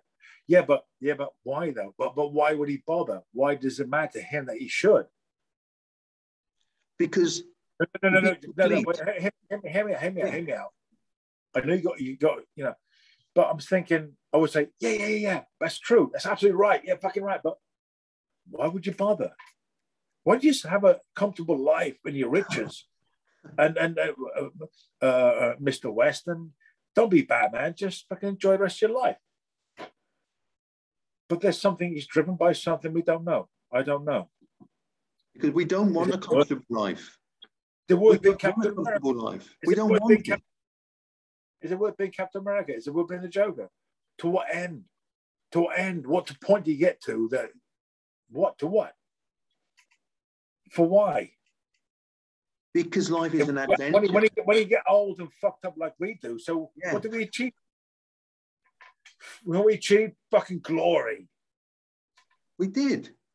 We did. And then and like I, I, gave you that analogy a little while ago, and I, I'm going to explain it to everyone out there who maybe has felt this or maybe hasn't. But it was like what leg day was like with with Dorian in Temple. It was literally there were moments in that workout I did not know if I was going to survive the workout. I did not know if I was going to lose consciousness. I felt like, especially on those Smith machine squats, when you knew he was going to at one point say three more reps, and you were dying for him, you were longing for him to say three more reps, but he wouldn't say it until you, you were absolutely gone. You were exhausted. Your legs had absolutely blown away. The fibers were fired up, they were cramping. Then he said three more reps. And it was like, metaphorically, in your brain, you're walking to the edge of hell and leaning over the, the darkness of hell, looking down into the fiery, fiery pit. And the devil's there laughing at you, and you laugh back at him. You laugh back at him, and then you pull back because you know you've conquered it. You've conquered that, that moment of death that decision. You've chosen to go beyond what you personally ever thought you could do, and you've conquered it. You've done it.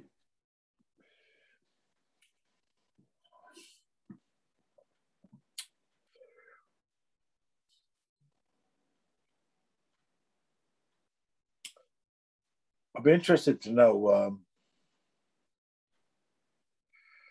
I know. I would say that uh, there's so many people that um,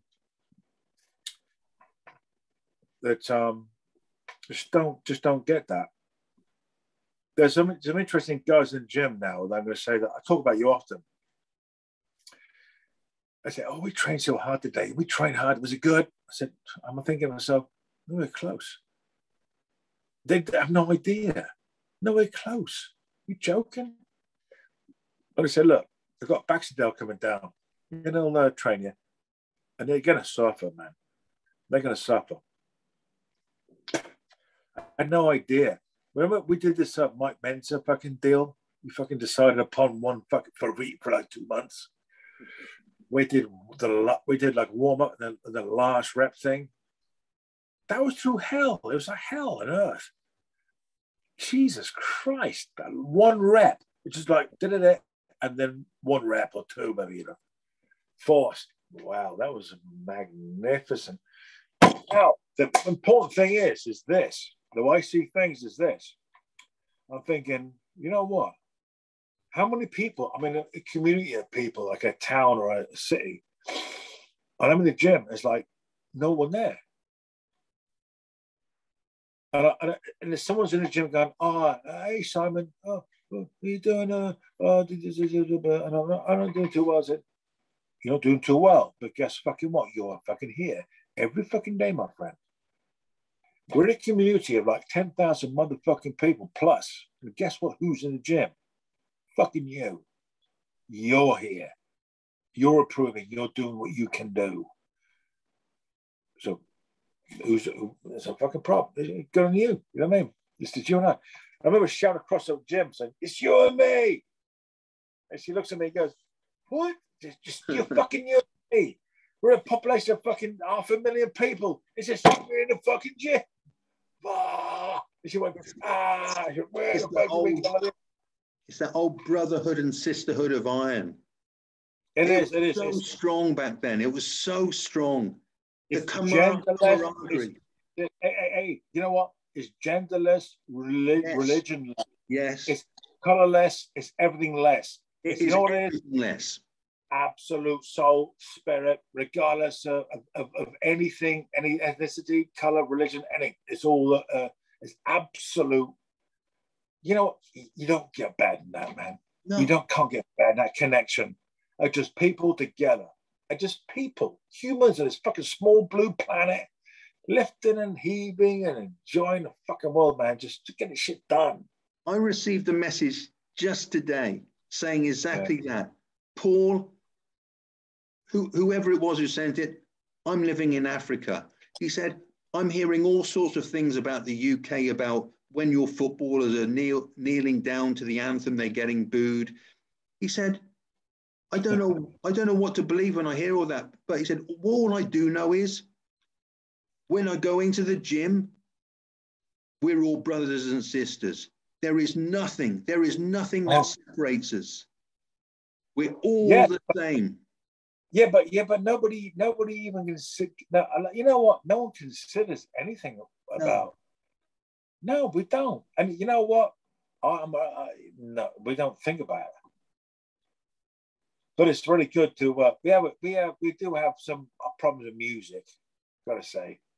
Music, because uh, I do yeah, too. Yeah, totally. Yeah, yeah now we do because you get other people from the fucking countries coming and say, "Well, I want this, or I want to play this, I want to play that." Like, oh, yeah, I want this. So we always arguing over the music that we played, you know, because heavy metal is always good. Yeah. But no, no, it's interesting. It's interesting, uh, Paul. You say this about the gyms about gyms when you, we don't see we don't see any difference among amongst us. You know, there's no difference. And uh, I'm international. I go to many many places in my life. I travel the world. What I find interesting because you're a superstar. Pardon? You're a superstar. Oh. You're a superstar. No. Of course, you travel the world. No, no, okay. All right, yeah, oh, I'm a superstar. Yeah, a very bad one. Hey, hey, but uh, it's interesting because I'm thinking I'm an air, I'm at Heathrow Airport, right? And I've got I'm mixing with people from all over the fucking world, from every ethnicity, every color, religion, um, sexuality, sexual preference. I don't fucking know. But you know what? No one has a fucking problem. No.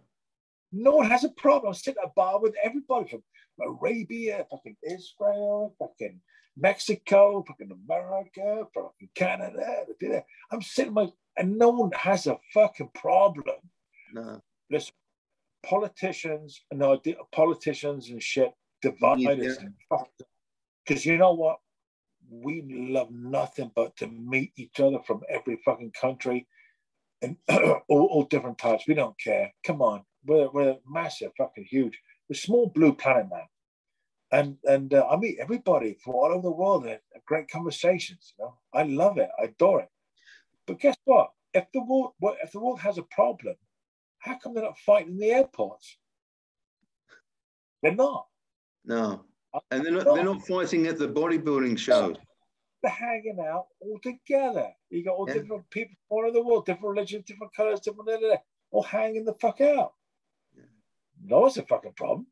And what, what's the basic etiquette in a gym? you respect every other member as you would like to be respected yourself. That's a basic gym etiquette. Why can't we do that outside the gym? Why do we forget what we do inside the gym? It's like, yeah. yeah. It's crazy. Like the world of the gym is a is a refuge. It is an escape for people, but it shouldn't. It shouldn't really need to be that. Except, except the iron. There's something magical about the iron. There is lifting weight, the clang of the weight. There is something magically musical about the clangs of the weights. Hmm. It's physical. It's physical. But so, uh, so how do you feel about? Um, I mean, how do you how do you approach things now, as far as your your your training goes? Well, obviously, you know, um, I had um, I had a, an accident ten years ago. A set of stairs collapsed underneath me, and um, and um, broke both both my my hips, and uh, messed messed up my pelvis pretty bad. Um, so, um, you know, my training is limited in terms of you know my lower body, but I'm in there. I'm in there four days a week, and I still train. I still, jerk off. You know, you I, jerk I, off. No, no, no, no, no, no, no. No, I, I, I can't, I can't go down that route anymore. Maybe, um, maybe once, once, twice a year, I might do some HRT. No, so can you still jerk off? Can I still jerk off? Yeah. Use some HRT. It's a joke. Don't worry about it yeah, I can. Everything's fine with the HRT. It solves all problems, man. hey, actually, that's another funny thing. When I retired from, from oh, competing, it's another thing for you. Is it funny for everybody else? Go on. When I retired from competing, I came off of all the drugs just the way Dorian did. I went cold turkey. I said to myself, yeah, yeah, I've, I've retired today. I've retired today. I stopped taking everything. And I did. I stopped taking everything. I had about maybe six to eight weeks where I felt a little bit lethargic. Libido was a bit low, didn't feel too great, a little bit down. Stop doing what? Stop doing what? So Sorry? you stopped doing what? I stopped doing uh, all, all the gear I was doing, all the anabolics, all the all, all, the supplementation that goes along being with the top with the top bodybuilder. You know, I just came off everything completely. Yeah, yeah, yeah okay. And um, and I, I, would say about 12, 12, 15 weeks after being everything out, out of my system, my own natural testosterone levels, I felt them kick in naturally straight away. Oh, really? Oh, within, oh, really? within six weeks, I felt absolutely brand brand normal again, absolutely perfect. I felt brilliant. It's really strange, you know. But then again, I was always cautious with those, you know, things. Like I always took minimal amounts and cycled very carefully. Look, I had some great advisors. I had Kerry Kayes, I had Dorian Yates, you know, advising me how to do things and how what not to do. So, you know, that, that aspect of me, I feel very fortunate in having great mentors with. But yeah. at the end of my career, I knew I had to almost like reinvent myself. I was no longer Paul Baxendale, the bodybuilder. I had to become something new. It's like it was like being an actor, playing a different role for a while. I thought, okay, I have to become something else now for a little bit, little bit of time.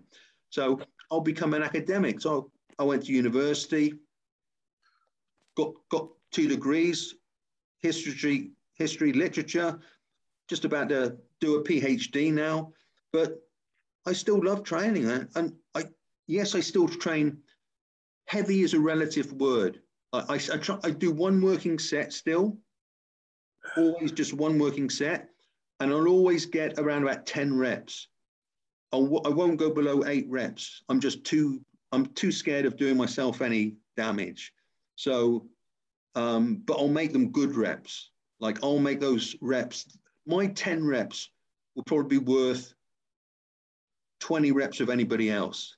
I will squeeze and contract the hell out of the fibers till they're completely exhausted. Um, I might even do like a like a rest pause. I might even try just hold the weight in place for as long as I can, just squeezing the muscles in you know in contraction in that contracted position. Um, so you know I'm holding it together. Hold you there. Hold you there. Hold you there. I was doing a Smith machine uh, uh, uh, um, press, chest press. And you did the thing where you said, well, push it, hold it. Mm. Does, it does it do anything? Fucking right. You're holding the contraction. Yes. People don't get that. Hold the contraction. Because it's about, you remember, you remember the dynamics? What's that fucking motherfucker who did the um, uh, dynamo mechanics? Dynamic tension? Dynamic tension? No. No, no, the early days, but the comic books. Dynamic tension. Dynamic tension, yeah. It was. Yeah, what's his um, name? Oh. They come. What's his fucking name? It's fucking uh, dynamic tension. It was fucking right.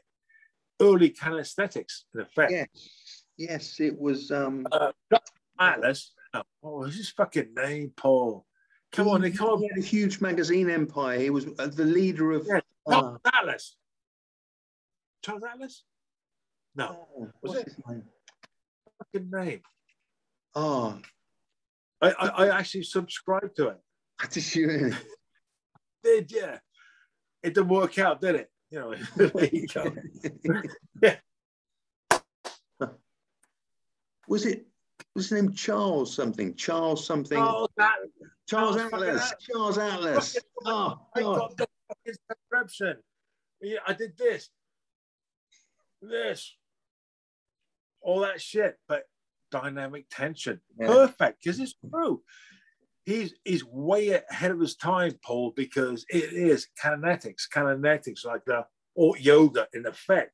Yeah. You hold now, now, to your point, Paul, holding the tension. That's what it was. You have to understand how, listen, anybody's listening now, the stretch and the contraction. Don't go this. Don't do this. Just, just pull. Now, that that uh, that guy we're talking about, um, uh, the French French bodybuilder, what's his name? Serge Nubret. Serge, Serge Nubret. Light but lifted slowly. You know, it's like there's some guys, it was like the religious act. It's religious, religiously moved. Hold, press, squeeze, squeeze, squeeze, squeeze, squeeze. Come down, relax. yeah, yeah. yeah. Uh, you see everybody in the gym, they're moving away from A to B. That's not what's important. What's important is what happens between A and B. Yeah. Yes. That's what happens between A and B. And that's what I always try and tell people. But I've got to say, the problem I find with a lot of young people today is strangely, it's almost like they don't they don't want advice. It's like in my day when I was young, I like I, I literally hung around the big guys of the gym trying to pick up little snippets of information here and there. It's like, yeah, these young kids of today, it's almost like they know it all. They they've watched a few YouTube videos or they're following their favorite Instagram superstar model um, board short competitor, and they've got it all sus. But you see them making basic mistakes and you know they're not going to make improvements. And all I want to do is help them make improvements. And it's like they won't let you. It's just like, ah, it's frustrating. Yeah, because we're set off fucks. What do we know? because the way we perceive us has been a nosy, parkery, kind of, you know, they know better. Because when you're youthful and, and, and, you know, yeah, I don't know. I think, um, yeah, forget about it. It's not going to work. So I think the new age of individuals don't to, don't know how to suffer because suffering is not a good thing. I don't know. Yeah, I, I don't know. I mean, Oh, I'll, I'll oh, well, we could be. I could be wrong. I could be wrong. I could be wrong. I could be wrong. I could be wrong. Listen, Okay, I'll, I'll give you a couple of quite examples. clearly, quite clearly, because I want to go back altogether differently. Let's step back altogether differently. Is is for example, so you sorry, you're going to say? I was just going to say, I've taken three three people have asked me to train them, and I've said, okay, I'll train you, but the first the first session has to be a leg day to see whether or not you're up for it. Every single one, every so every every one of the three was sick. One didn't make it past the first exercise. One of them didn't make it past the leg press.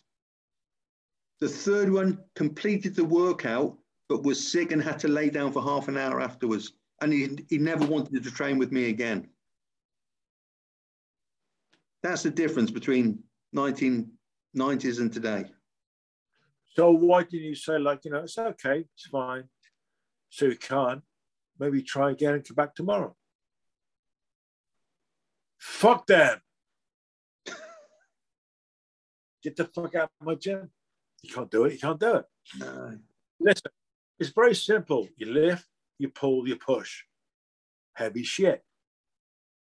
Can't do it, can't do it. So don't come back. Unless you want to achieve, you, have some. You have to have some kind of goal. What what do you want? What do you fucking want from this? Now that brings a kind of a loop into absolute dedication and where people become champions and uh, are that good. And it's not not just simply lifting weights up and down. It become it's about extraordinary extraordinary people, extraordinary minds, and and power of mind and spirit and soul. And uh, to achieve comes from dark places or will for you know just pure uh, want of celebrity and and self-worth which is all the same thing one of the same thing and so uh, you know we have great great people you know great champions you know and we have to reflect on those you don't get there unless it's through hard work even if you're genetically gifted immensely you're still going to fucking do the work to get there it's called work guess what young people work it Yeah. you don't get it for free You Don't know get it for free. what's fascinating? Again, it doesn't matter what field you're in. Those people who are prepared to go beyond anything else anybody else is prepared to go through, they attract the world. The world is attracted to these champions, not particularly because they love the sport, not because they're particularly into athletics or whatever it may be. They recognize something innate within their spirit that is great. They, they recognize greatness in their spirit. It's more than the physicality, it's the mental drive and desire that they know has pushed them beyond anything anyone else is capable of. yeah It's like your artwork. How, how, how long have you suffered over a, a piece of art? How many times, let me ask you this, how many times have you started out on a piece of work, made one mark with a pencil, and said, "Mm, no, that's not right. Try it again. One, no, that's not right. No, that's not right. You maybe you go through 10, 15 until you get that perfect stroke of the pencil. It's not good enough. It has, you know, you know somewhere inside of you, you know what that perfect line is, that perfect mark. it comes the first time. If it doesn't come the first doesn't come the first time, no good. Which is exactly what you're talking about. I have a sketchbook full of paper and the wrong, wrong, wrong, then I get it right. Did I get it right? So, um, so we're talking about like uh, you know bodybuilding and all. It's, it's an, another art. It's a movement, a dance, a, a piece of uh, literature, writing, poetry. It is that. It's an emotion, and uh, you have to really feel it and understand it and know it to attain, don't you? And it takes hard fucking work. Things become uh, things are natural, but if it's not, sometimes if people are not very natural to it, they take it for granted. That, yes. But don't, but but don't succeed because it's natural and they don't they don't see the potential. So I don't know what it is. There's a combination of being um, I don't know. I mean, if we go back to Don, to Yates again, who's this guy?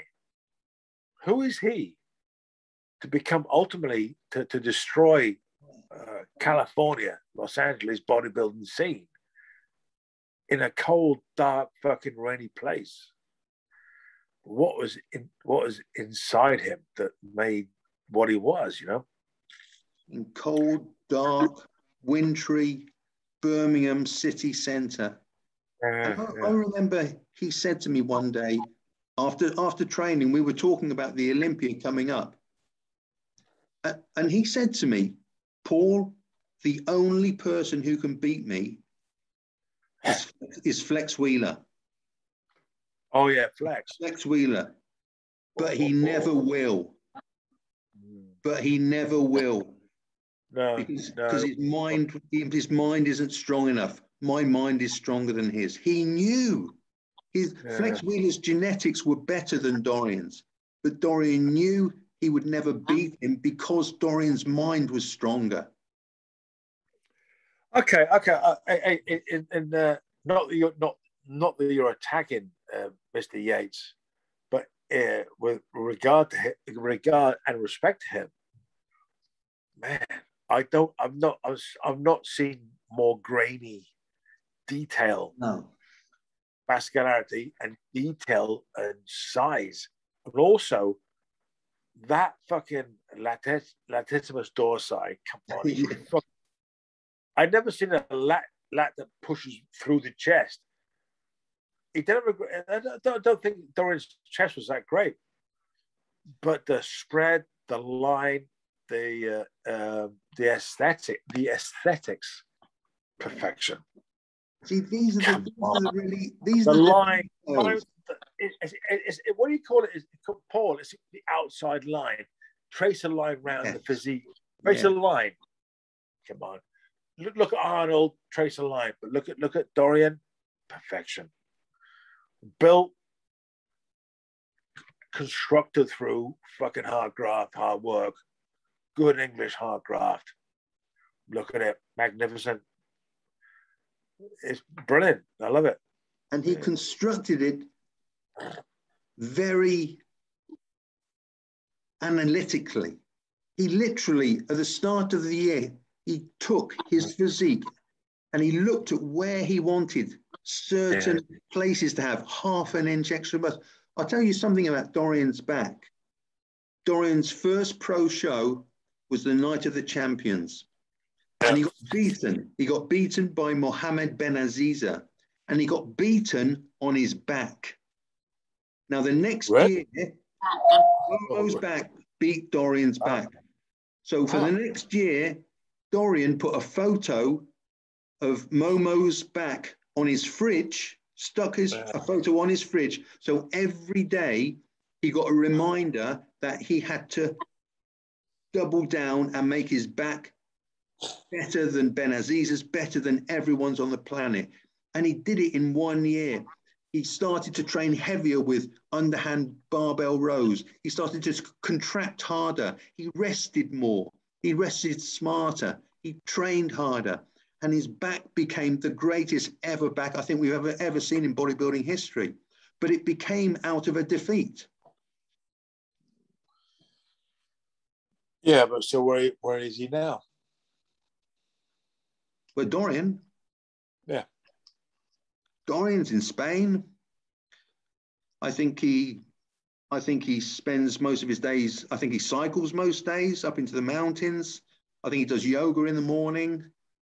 Um, I think he's focusing on his health, keeping himself healthy and happy. Um, I, I, I, I think he's, he's way more positive than most. What I like about Dorian is Mr. Yates again. I'm sorry, uh, I, he's not my friend. I don't know it by, by his first name. Um, yeah, he's uh, way more realistic. What he, what he, it's interesting because he became absent. When he became famous and was Mr. Olympia, he went off the charts and disappeared. Yes. Because because you know what? He wasn't playing the Hollywood game. He wasn't playing it, I am the fucking man. Da, da. Uh, he just took it stoically. I won, I trained, and I'm now I won, and that's my goal. And like Hollywood going like, and nothing. I did what he had to do. Dorian did what he had to do and then drifted away. Wasn't interested. That's it. Know, he, had a, he had a lot of pressure. So, so, so, a lot of pressure from Joe Weider to fly over to LA twice, I don't know. a year for photos. I don't know. He did. I don't know. I do know.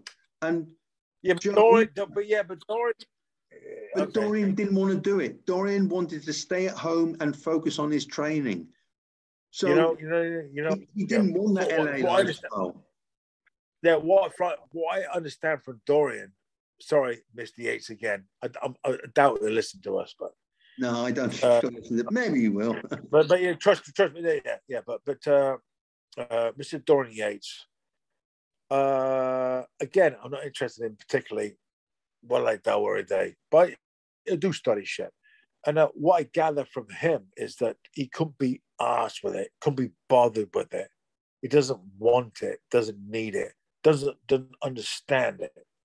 Exactly. And um, so so so when you're stardom, celebrity, and da da da, I'm not interested. So what? No, no, no interest. Not at all. And um, that's him altogether. That's why he's been kind of like brushed under the under the fucking rug in a way because he's not he's not prepared to. He did what he did. He ruled. He destroyed. Fucking absolutely destroyed. But he didn't play everything. The game. Everybody. And what?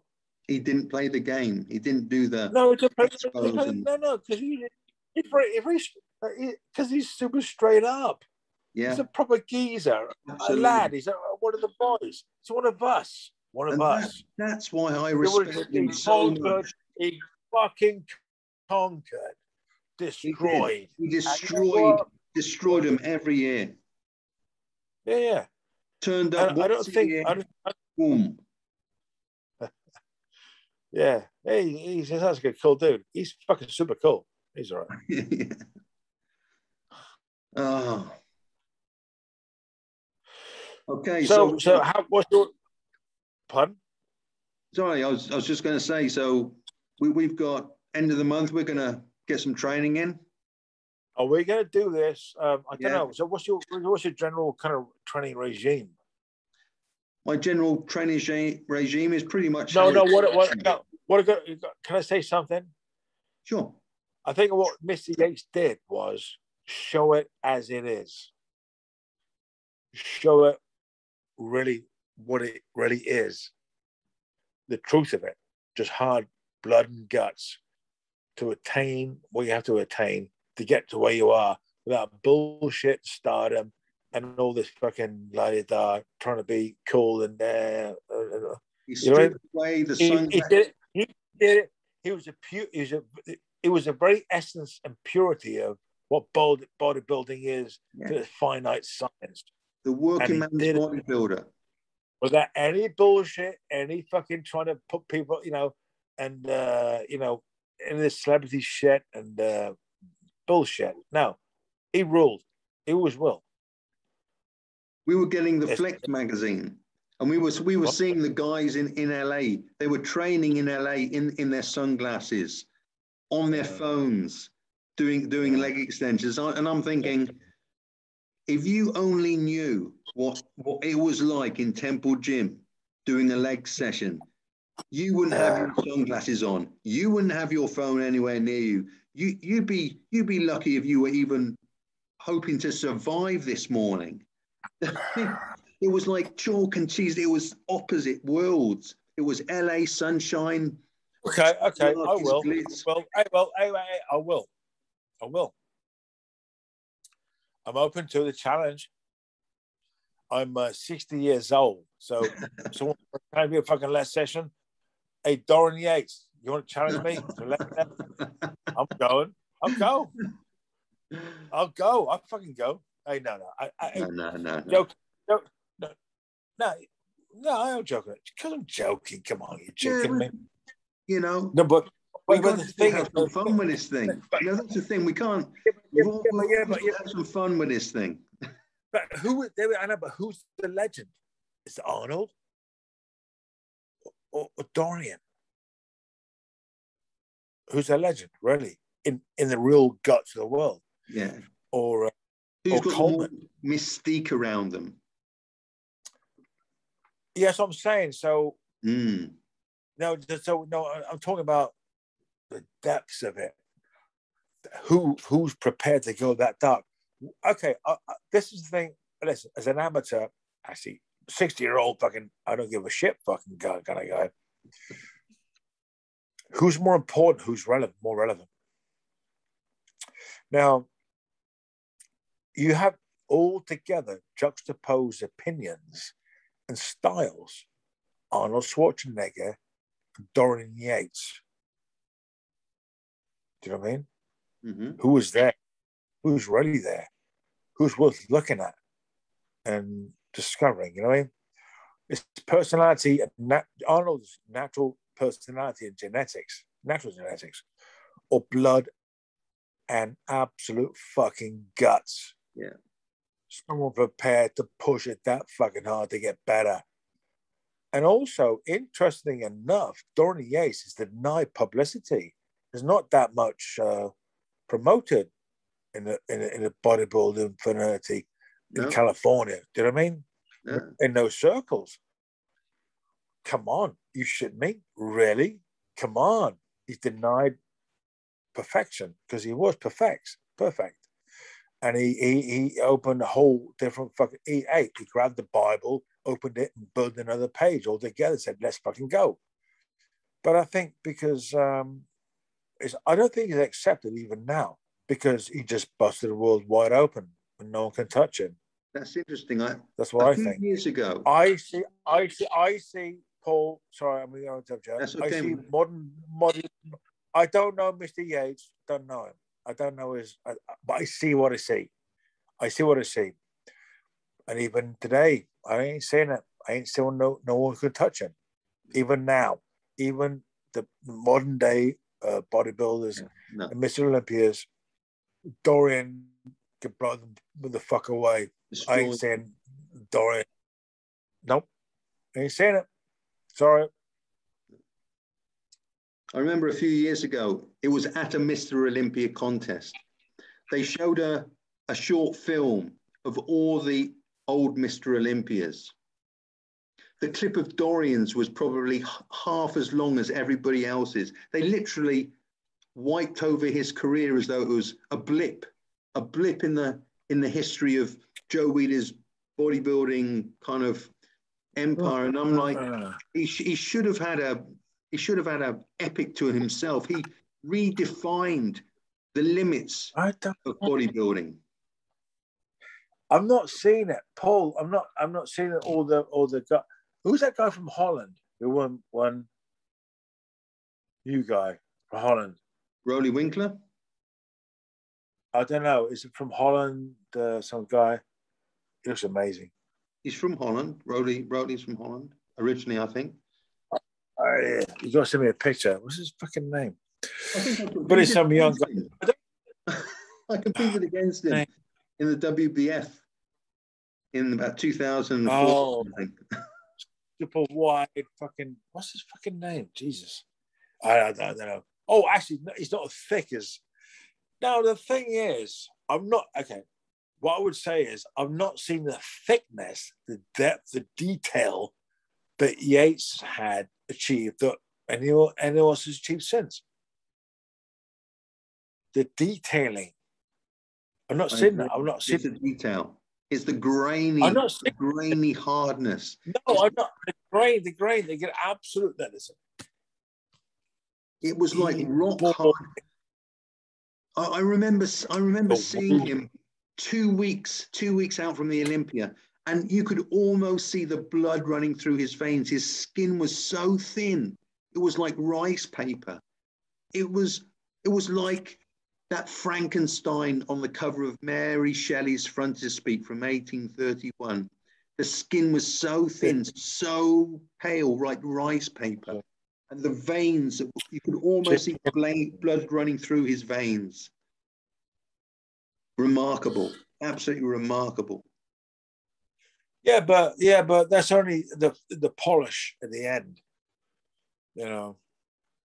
So I don't know. I don't know how this shit goes maybe he's remarkably. Uh, how's his son? How's uh, Yates' son? Is I don't really know. Well?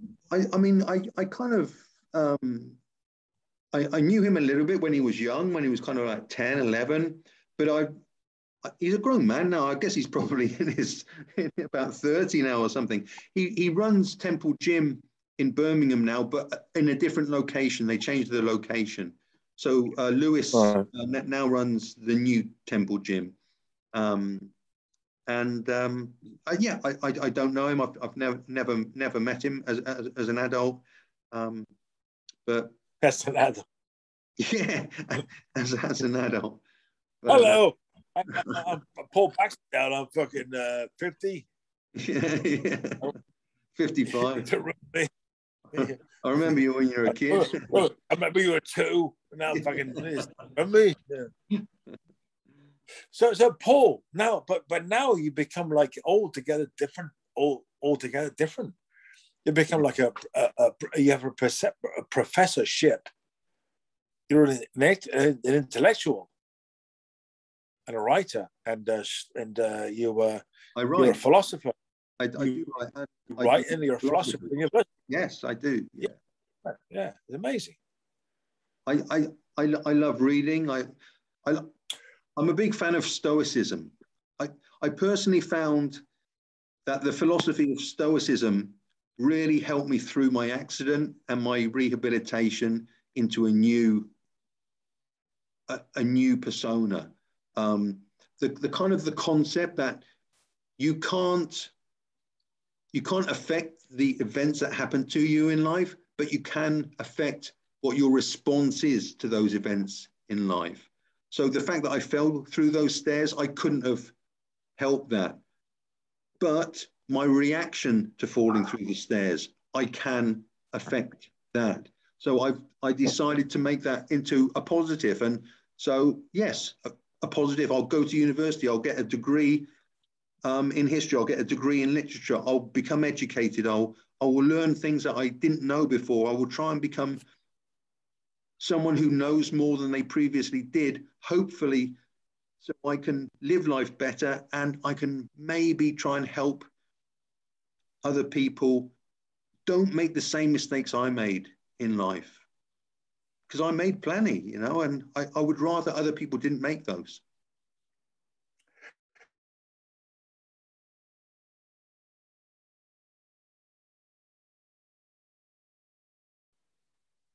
so uh, when do you think that? Um, so what do you think of modern mo- modern bodybuilding? Modern bodybuilding. I've, no, no, no, no, no. We're talking about okay, Paul. We're talking about the grain graininess of Dorian, which not been matched. I don't think, particularly. Uh, so how do you how do you see I mean, you, you the whole uh, uh, growth hormone, fucking big wasted fucking Palumbo shit going on. Where's it going? Where's bodybuilding? Not in a good direction, I don't think. I, I I've, I've seen a real decline in the quality of physiques. I would say probably since about 2015 onwards. Um, may, maybe even before then, some some of the athletes were pushing the boat for sure in, in terms of the the growth hormone and, and the insulin and possibly IGF-1. Um, now, these are compounds which which really cause, you know, incredible growth, but they make everything grow. They make your organs grow as well as your muscles. So you're going to get distended abdominals. You're going to get water under the skin. I can always tell an athlete who uses too much growth hormone because they always hold a layer of subcutaneous water under their skin, which no matter how much diuretics they take, they, they will never be able to get rid of it. It's just, it blurs, it blurs the details that you were talking about, the grainy details. You, you won't see it in an athlete who uses too much growth hormone. And um, I, I, I, wish, I wish the judges would alter the judging criteria. If the judges started to reward the harder athletes, the ones who are really in shape, then people would soon change their protocols. But because yeah, but... because they're rewarding the athletes who are the biggest, then I think it's telling them the message: we want you bigger. It's yeah, got yeah, to come yeah. from the judges. It's got to come from the judges. Surely, but maybe in being bigger and more in shape. I mean, the thing is, if there's a back history, doesn't matter. It's about what you present in front of you, like a great artistic piece or a great movie or great whatever day. So what is presented of you is it. So how it came about and how it was perceived and conceived, how much money was put forward, is it work or not work? So you say, well, the guy's very huge, but oh, but God, he did this and that. And yeah, so we so he did.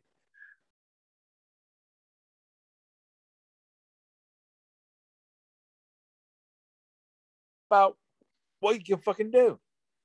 Yeah. It, like just like that brotherhood and sisterhood of iron, it's got nothing to do with anything but the iron. It, it's what unites us, not what divides us.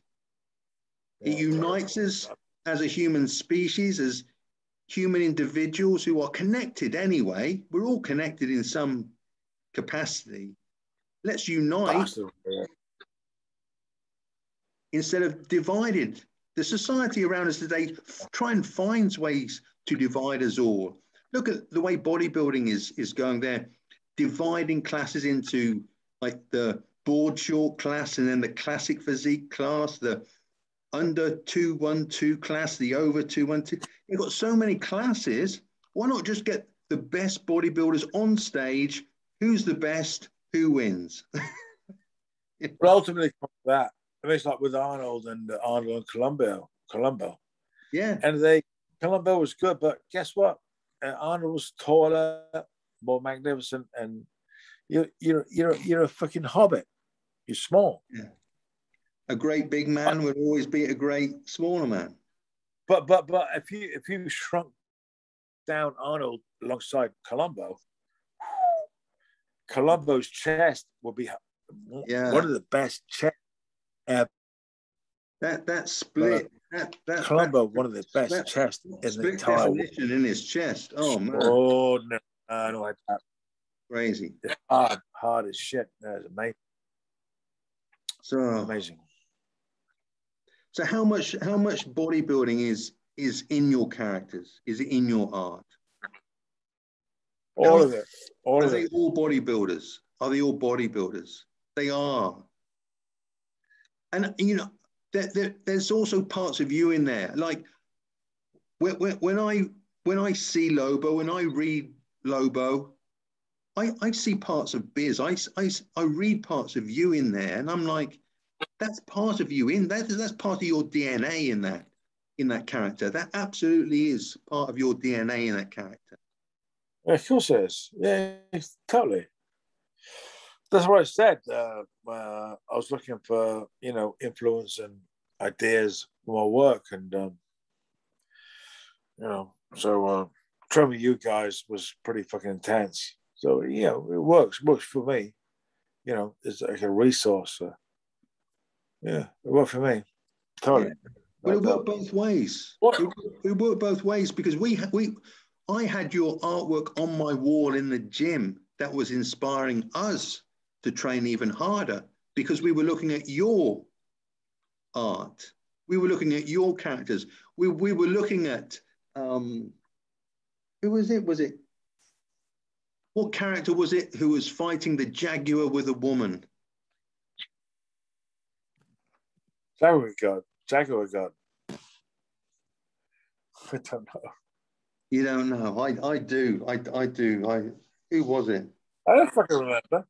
Um, well, I'll remember. I, I was looking at today, and I was thinking, oh man, that's just that is just crazy, unbelievable. Um, it,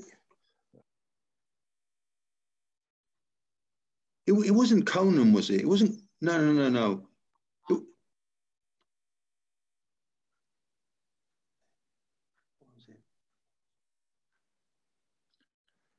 It might have been Conan with a huge axe and a jaguar was jumping on him and there was a woman down on the floor by his knees. Do you remember that? That was a real early piece. Yeah, probably every character I've ever done. Very early piece, classic, absolutely classic. And uh, have you have you ever drawn old King Conan yet? No. No? Any plans to? Yeah. You want to be? Yeah. But you got to grow a beard. You got to grow a beard. a beard, okay. I, no, that'd be cool. No, grow a beard, grow your I think hair. That'd be cool, man. I, I, I think, I think there has to be a, a sequel. There, there has to be no, a. you, you got to I know, I know. I don't know. I think Conan probably died early. I don't think he would. He, he was that old. I, I think he would have got to. There's no chronological. There's no chronic. He would have got to late middle age, and, and then maybe he would have. There would have been young usurpers trying to take him out. I don't know. I don't know. I mean, most of his Conan most of his uh, sagas were, were in his 20s and 30s. Yeah. He's young. Conan is ethereal and kind of um, a map for us because it, it, it, was quality. It was written in the uh, very early 19th century by Robert E. Howard. But Conan was a very stoic and uh, very fine fellow and uh, had great honor and uh, respected women and respect. Yeah. yeah. It was a fine. It, it, was. It had all the. Uh, a very noble fellow, actually. He's a ruffian, um, a bully yeah. in a sense. But, um, no, he, he, he, he, he wasn't a rapist or anything, or fucking a bastard. You know, he was. He's okay. You know, so it's quite progressive in a way, but um,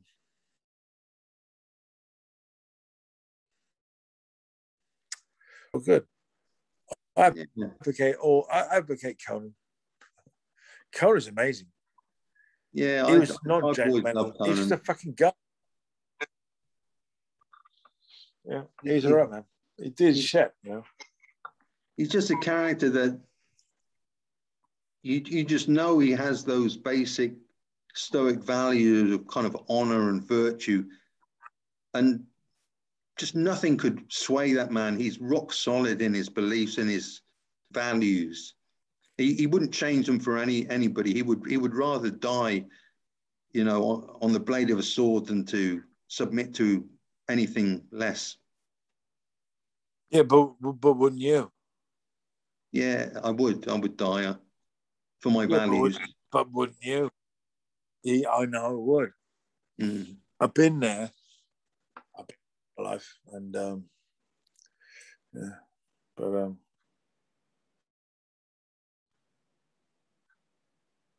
yeah. Conan, amazing. Yeah. Good old stuff. Great, great new stuff. Maybe, maybe he's going to resurface and have a few more adventures. I don't know because wasn't wasn't wasn't Arnold to do a fucking thing with? um I think he had a deal with some with with some movie company to do King Conan, and he would be it'd be him. Oh, I think I did read something about that. So, so, apparently, someone who still holds the rights to the Conan um, movie rights. Okay, but they're holding it back. Ah, yeah. So I think so. Yeah, I gathered. So, about any of your other work is is that well, yeah. more of it looking? Any other stuff looking towards movies? Do you get involved in that process or that? For me, for me, yeah. oh, all the time, yeah. Yeah, yeah. Yeah, stuff, stuff, stuff I can't talk about. Yeah, but yeah. Yeah, sure. Pretty yeah. much. But do you like that? Is, is that always? Yeah, I do like. It's an exciting part of your business. To seeing things maybe coming into life on a on a screen. No. No. Not unless you have artistic and artistic control. All right. No. Okay. okay. I know. Hey, if I get through a few bucks, I'm happy. But I, I love the acknowledgement and uh, the glory of being, you know, represented and my work justified. I like enjoy that a lot. Yeah, I do. But um, pretty much otherwise, I, yeah, I don't know. Yeah. Right, life rolls on, doesn't it?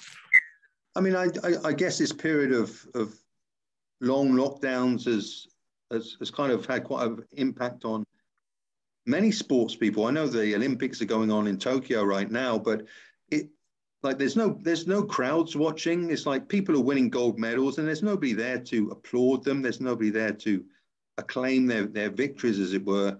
Um, you've not been able to get around to your normally to your normal conventions and stuff, and and that's where you meet your your family, your other family, your your cartoon family, you know, the, the ones who buy the comics and who love the artists, who love the the work and and not being able to be with those people, that must be that must have been difficult too. No. No. You no, no, no. They, uh, yeah, yeah, pretty much, yeah. I mean, I don't know. It's a transition. Yeah, you got to accept what it is. So why worry? I mean, there's not, nothing you can do about it. No, there's nothing you can do. No. So uh, what am I going to do? Worry Just keep working. What? Just keep working. Well, don't worry. Yeah, I see. I see people when I see them. I mean, I've not met you uh, for like how many years? Yeah, I mean, oh, 25 years. Years and years, years. Face to face, so been a while. Yeah. No, I, a while. You, you, just take things as, as they are in the middle. Yeah, exactly. Yeah. So yeah, it happens when it happens. You know. Yeah. Uh, okay. But, but I hope this podcast is, is good. Yeah, it will be. It was. It's it's been a lot of fun. It's been a lot of fun, Biz. We've covered a lot of material. I think we've we've we've gone some really interesting places, and um, I think hopefully we provided some. We're not talking about. We're not. We're not talking about the Sorry? No, we're not talking about uh, the other, other shit. No, no, no, the no. Mythological. No, no, no. We we don't talk. Oh about no, it. I'm saying that, that's next. Oh, that's next. No, the mythological Thor, Hercules. Remember? Yes. That, we're talking about that. Yes. That's next. All about all about the the, the ethereal, the spiritual, the rolling, rolling the stone, and all the you know the mythological uh, characters of our yeah. of written historian. Yeah, I mean that's that's something I've been fascinated with, especially the last I would say year and a half, is that exploring these myths, exploring these ancient myths, and understanding maybe the the lessons, the life lessons that that these ancient writers were trying to teach us by, you know, Hercules' 12 labors or 12 tasks that he had to perform. And, um, you know, re- really fascinating ones like, actually, it wasn't even one of his labors that he had to do, but um, the man who gave humans fire was somebody called Prometheus. The Greeks thought that this man called Prometheus gave humans fire. And obviously, to give humans fire when they didn't have it, that, that was like a civilization changing technology. Now, Zeus was so unhappy, was so mad with Prometheus because he'd given humans fire, he chained him to a rock. He chained him to a rock. But Prometheus was a god, so he couldn't die. But every day, this eagle would swoop down and peck and eat his liver out of his body raw while he was alive, living. And then during the night, he would obviously recover because he's a god, he can't die. Only for the next dawn, the eagle would come again, and all day he would be pecking at his body, taking out his liver again, until Hercules comes along, sees Prometheus chained to the rock. Why are you chained against the rock? Oh, Zeus was, was mad with me because I gave humans fire. And Hercules breaks the chains and sets Prometheus free. So Hercules, he wasn't a god. He was just a, a mere mortal man to the Greeks. But he was he was almost he, he, he was he was almost um, godlike to the Greeks, not because of his strength so much, but for his courage and for his virtue. That's what he was renowned for. It's, it's strange because we always associate Hercules with strength and like killing carcass and killing the wild beasts and the um, the boar and the ox and all these animals, but actually he was renowned for his courage and his virtue.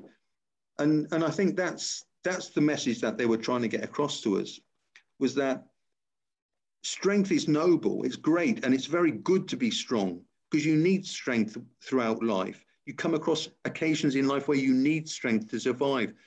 But the most valuable thing you can have is virtue and courage. And, you know, th- th- these are lessons that, that I love to take from mythology.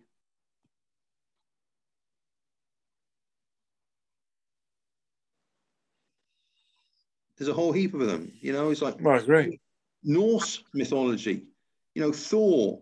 You know, with, with with the magic hammer, the hammer that was made by the by the dwarfs, magical powers, and they they gave it to Thor.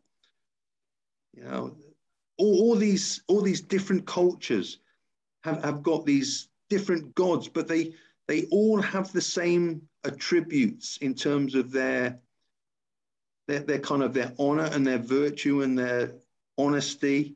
But you also have the the Joker. There's always a Joker in in in, in the pack of gods, whether it's Loki or or whoever.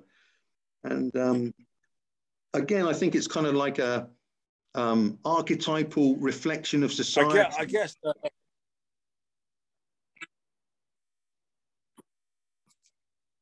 I guess like uh, Thor's hammer would strike, it'll be like a nuclear fucking fission. Yeah. That'd be like the whole fucking thing. Yeah. That I mean, like, uh, um, but it, it's, it's mythological, so it's a suggestion and a, probable. So people have, have to be convinced. People will, be have to be convinced that Thor existed and his hammer would explode and create mountains and that, which it did though. It did. To my mind, it did. Uh, Thor exists as much as uh, Jesus did, you know. I mean, how, how else did the Norse break out back? Yeah, how how else did the Norse? No, no, to me, it's, it's mountains. No, no, no, no, no. What no, I'm trying to explain to you is truism, because whether it be mythology or as an ideal, mm. an ideal that I like, and I'll go along with because because of nothing else. What do you have else otherwise? We have ideology as as individuals or we go where we go if we go how we see things but as on a personal level i I'm, i represent myself personally and i believe in yeah, thor that sounds good to me i like that i like jesus i like his ideology yeah so you know i mix them up so i don't i'm not particularly one or the other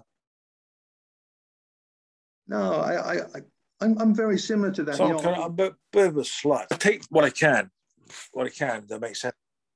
But it's like every religious text or every mythological story that I've read, they've all got something valuable in them. Every single one has got something valuable in them. So why throw anything away? Why? why yeah, yeah, yeah, yeah, yeah, There's no reason to. We don't have to throw to, anything uh, to away. All the, yeah, yeah, but I, I, I, I know people of all kinds of religions, all, all, all kinds of religions, but it all comes down to the same kind of thing, kind of.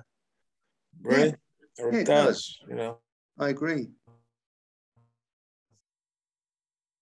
I don't see a difference in nothing. You lift weights with me, I lift weights with you. I'll suffer, I'll suffer and sweat blood with you, and let's let's go. Let's fucking lift the fucking weights. Let's yeah. fucking push our bodies. And it's that, a brotherhood. It's that's a, a that's a real kind of a bond is it, between two a brother, It's a brotherhood. It's a beautiful it's a brotherhood. It's a brotherhood, a sisterhood, a worldly love. We don't give a fuck. Well, what nature you are, we don't give a fuck. Let's just yeah. fucking push. Let's yeah. fucking push. Let's fucking support each other and fucking pull and push and fucking yeah, scream. So, a wonderful world we've, we've got this world of our iron. And we, we, we should the never gym. Be, the gym. Yeah, the gym. The gym, it's a it's a wonderful place. And it's a, it's where, yeah, everybody should get on and everybody does get on. And we're blessed to have it. We're blessed to have no, it, man. No, no one cares. The gym is neutral. No one cares. No one judges. Yeah. No. We've left. It's like it's like it's like uh, we can lift with, with whoever, with whoever, we're not looking at anything. We're just we're left. Hey, we're trying. We we're trying. I'm looking at. I'm not judging. It's just train. No, I mean I, I don't know about you, but when I travel the world, I, I always, wherever I am in the world, whatever city or town I am, I always find the gym and I always go and train in the local gym. And wherever I am in the world, I'm accepted like a brother. It's no nothing else Great in unity. the world. I can't go into a bar or a cafe or a restaurant and have that, but I can go to the gym and everybody accepts me like a brother. Yes, they fucking do. A nod and a wink. Yeah. No one's judging. Yeah. Just unity. Like I said, the airport. Go to the international airport, no one's judging, all together. It's government and politics divide us, but as people, man, we're not divided. No. Yeah. Maybe we should just turn off the television sets, turn off the radios. All, I, all I'm going to do is get stronger and bigger, more powerful. Okay, buddy. Well, um, come the end of the month, in my we'll, mind. we'll get some workouts in. I'm looking forward to that. It's, it's going to be great to work out with you again and um, well, yeah, we'll get some. We'll get we'll, get some footage for for everybody out there to, to see as two old uh, Iron Warriors, the two old Iron Warriors that training. that would be funny, actually. Yeah, it'll be funny. Training. Hey, but I think it'll be pretty magical too. Hey, oh, oh it's business revenge you will get your revenge. I'm, I'm, a, I'm a cripple now, I'm man. Gonna, I'm, gonna, I'm, I'm gonna push you on. But hey, hey, we're the same age. Fuck off. I'm gonna push you. Okay, you're on. You're on. no. You're on. I wish I never said that. And, I, wish, and, I wish I never said that. And I and I raise you three. Now, now we're in trouble. And I raise you three, you what, buddy. No, no, no. I know you will. Uh, no, no, no, no. I can't help it. I can't help myself. Wait, wait, I know. Well, yeah, I know. Yeah, you scare me already. Listen, it's not about me pushing, pushing. I want you to scare the fuck out of the guys I train with now. Like, okay. No. Hey, hey, hey, hey. The, the, the tough, the local young tough guys. They, they now trust me. They respect me. They love me.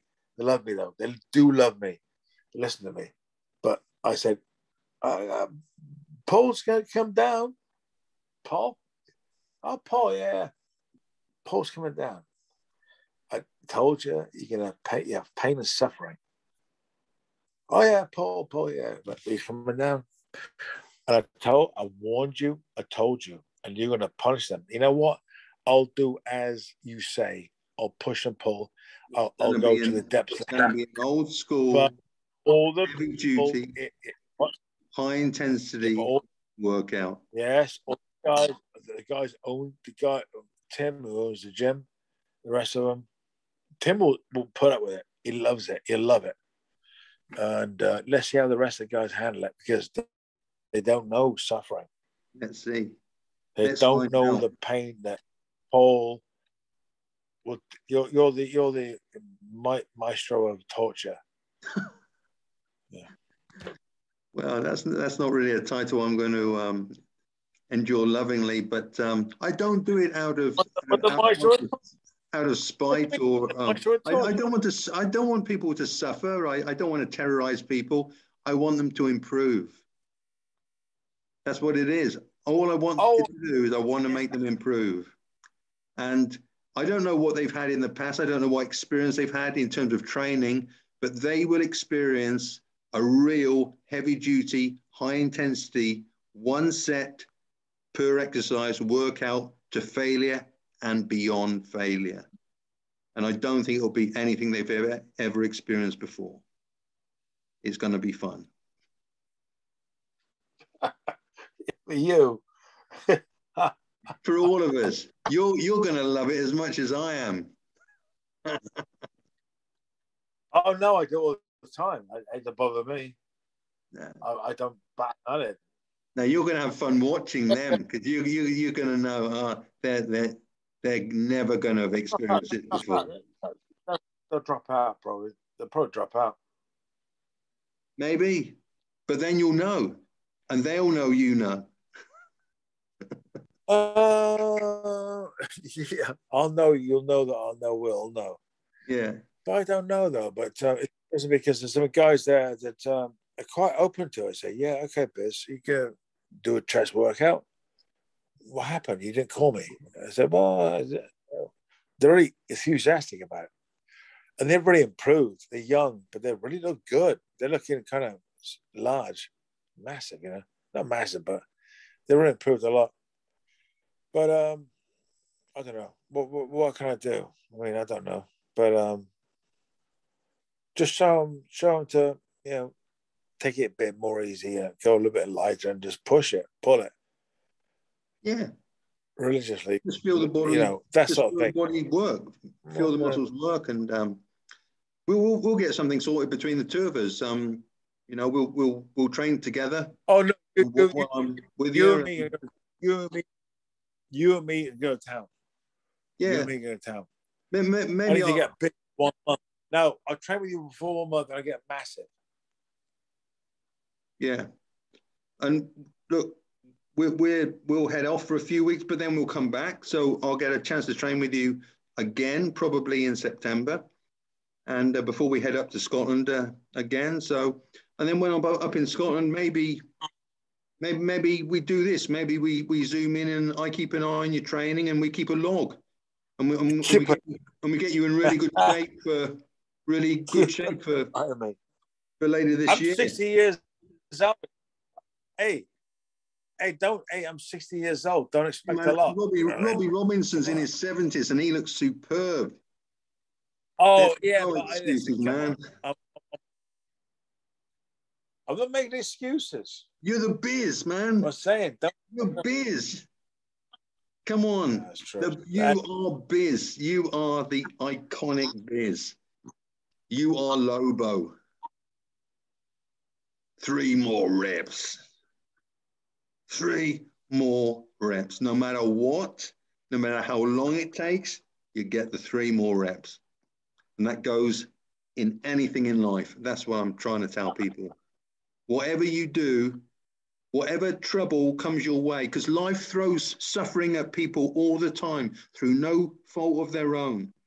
You can stand it. You can with, you can withstand anything because you've always got three more reps inside you. Always. I do. You know you I do. Have. You have. You've always had that. You had that the day you walked in my door. You already had it. You already had it. I knew it. That's that's why there was that bond immediately, because I knew you already had that inside you. But there's other people who don't have it, and Yeah, we need we need to teach people yeah, that shit, we trained like for a year solid. Man, a year. Yeah, true. No, I don't see it. I don't see it. I, I've never express. I never express when I train with you, and uh, I never experienced anything close to that after. Nothing. Nothing. Well, you're looking really well, Nothing. Piers. You're looking great at the moment. So whatever you're doing at the moment, it's working. It's working. Whatever you're doing, I don't look great. To me, I don't look great. look great. I can tell. Because you're big and you're muscular. And what are you, 57 years old? 50, I don't know, 56, tell I'm 57? I'm wearing a t- top. You can tell. Yeah, You of tell. course you can tell. Look, look at your t-shirt. Look, at your, I can see your guns hanging out your, Sixty. your sleeves. You're 60 years old. You got guns hanging out your Oh. sleeves. Oh, Yeah, uh, you know, it's like, oh, come on. yeah, Hey, 60. 60. Now, that's important, what you said. you're looking That's awesome. interesting. Thank you. Thank you. And I I, tell you something. say that if I didn't mean it. The And you know that. the work, the work that I put in with you in the old days shows. If you put the work in, you put the work in, it'll show in later life mm. because you can't get rid No, it won't fall off.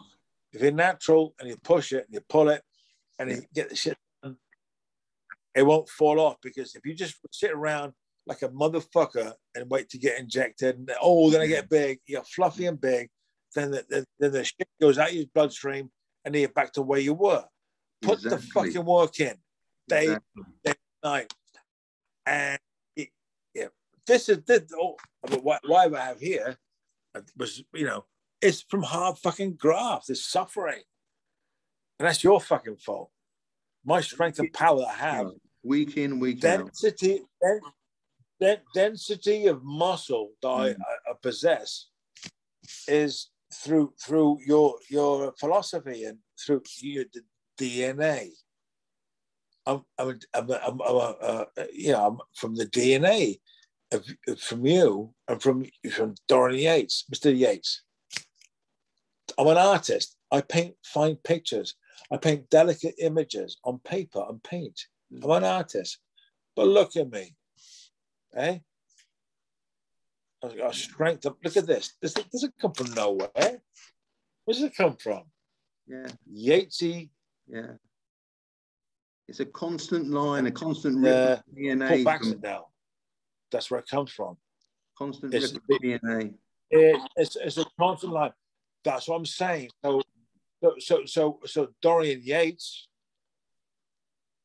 simple, working class bodybuilder, was was part was part of my DNA to become one of the or one of the great fantasy comic book artists Mm. and with, with training with you showed me transitioned me and, and pushed me forward. So so that's my point is that uh, you think you know okay i was a great bodybuilder. I was mr olympia. I paul baxendale was a great great a great bodybuilder. Had a had a had a fucking uh, his own fucking place and da da da. No. But Dorian Yates and uh, Paul Baxendale was made made me. Was was was part of my DNA. constructed my sense. When I drew Batman and all the superheroes, I saw Dorian Yates and Paul Baxendale. And I saw the suffering and the bodybuilding and the, the things we had to get to construct our shapes, Well, our bodies, and our mind. You know, I suffered. it's really quite. You know, that- what, really what quite you suffered, I suffered. hear that. It's really kind kind of taken me back to What? hear that because it's taken me back to hear you say that because I, I I often I often look at my life and I and and and, I and, and I kind of wonder or I wish I should have done so much more to help other people. I really should have I really should have made more of an effort in so many different ways to help other people, and I and I still will, and I still want to, and but you you never know what impact your your actions have had at any level, and Oh. I think that even a part of of, of me has has has impacted you in that way. It's yeah, that's, that's really quite moving. It, it, it's really hit me. It's enormously. Oh, Like I said, I don't, I didn't, Paul. I don't, I knew you, but not that well. But I knew you. I we we suffered together. Hmm. You know what I mean? Yeah. Suffered the cross in this. Yeah. In a, in a, you know, and um, and um, for me was uh, I saw I saw um, you know um, Lee Haney and Platz all that thing. But when I saw that, when I saw uh, um, Mr. Yates training and shit, I said, s- whole different thing altogether. I got it. I saw it. Prepared to go that far, to suffer, to suffer. For what reason? For what reason, really? No real reason, but just to suffer. Redemption, to uh, make amends. It's almost like, uh, the game. you know, uh, yeah, just, just to go to, to, to, to fall to your knees and just say, you know what? Yeah. Just like, right, let's go. Let's fucking go. It's about self, self worth, self, self. It's punishing yourself and making yourself better to Yeah. redeem. It's redemption. I'm Redemption. sure it is doing that. I don't know. I don't know Mr. Yates. I don't know you that well, Paul. Really, I love you, man, but I don't know you. Actually, I love Yatesy for whatever reason I can't imagine. But I see it as a connection, you know. It's about put pushing and pushing and pushing to find yourself and uh, go to war with the world, you know. And um, big came out the other side, magnificent. And uh, the sun, sun shines brightly in all of you, you know. And you did what you did, and he proved everybody, you know. But it, it's funny because everyone still suffers and tr- still tries to be the best, you know. But um, I don't know. I think it's for me. It's from pure, pure British blood and guts Mm.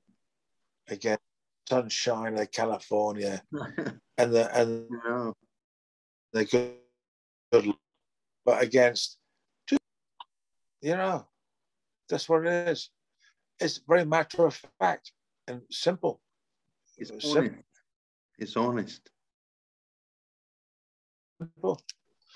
And uh, yeah so sit back and say yeah well one. Uh, what i find paul mr uh, mr baxendale and mr yates is why in particular uh, yet was what dismissed, not really regarded or not publicized. You know what I mean? Were, were absent from the, you know, the, the great giant publicity. They were like, weren't there. Do you know what I mean? Mm. They won, but they weren't publicized. no. There was no big check waiting for me. Good trainer. no, that's what I mean. That's what I mean. It's like, um, where, where are the film deals? You know, where are the uh, there's a lot of politics and ma- ma- uh, politics and manipulation that uh, you know, what I, mean? I guess there is. Well, I was never interested. Why in, wasn't like I was never interested like in the politics of it all. I just wanted. I just wanted to train. That's all I wanted to do. Just train. Yeah, but what was it? But what was it? Why? were- Why were why weren't you and uh, Yates in like, like in starring in fucking movies? It's like Terminator or something. I think it's altogether you, you, you guys are just a mystery, a mystery, all too much for people to take. There's such an absolute honesty with you guys that they Hollywood couldn't fucking understand it. Maybe, or maybe we push ourselves forward, and other people did. I don't know. I don't, I don't know. Yeah, but why was why, why didn't Yates get lots of movie propositions? I've got no idea. Again, maybe he didn't push himself forward, or maybe he just didn't want it. Or, but you would have thought he would have been offered something. I don't know. I don't think he probably cared. No, I don't think he did. He's very, no. he's very chill with it. You know, you know, he's. Uh, he's yeah. How would you? I, again, I, I, I don't know Dorian now. I, I, I, I can't say. I, I don't know him now. The last time I messaged him was probably a, a, maybe a year ago, and you know, I, I send him a message maybe once every six months to every year just to see how he's doing, and, and we keep in touch like that. And to me, he seemed happy. He was he was cycling every day. He was wow. living in Spain. He had a sunny climate. He had a great tan. He was healthy. He was doing yoga. He was eating really clean. He was almost vegan with his with his nutrition. Um, but he was still a big man. It's like the muscles didn't drop off him. It was like he was still big. Um, but he was happy, you know. Yeah. How, how could they? How could they? How could they? Yeah. Yeah, those muscles were never going to drop off Dorian. Not all of them. He's still oh, no. Big, still a big man. Oh, I watch him on. Uh, I watch him on um, the whole thing. So it's, it's so good to me, you know. I'm. Mm. Oh no, I, I, don't, I, don't, I just don't. I just don't think that um, he's been bettered. No. No, I don't. That's what I'm, I don't, I don't, I don't follow Yates. I don't really care, but uh, I recognise greatness, and I don't think that he's been bettered. I don't think he has. I just see it like it is. I'm just looking at it like it is. When someone does, I mean, you know what? Lee Haney was amazing.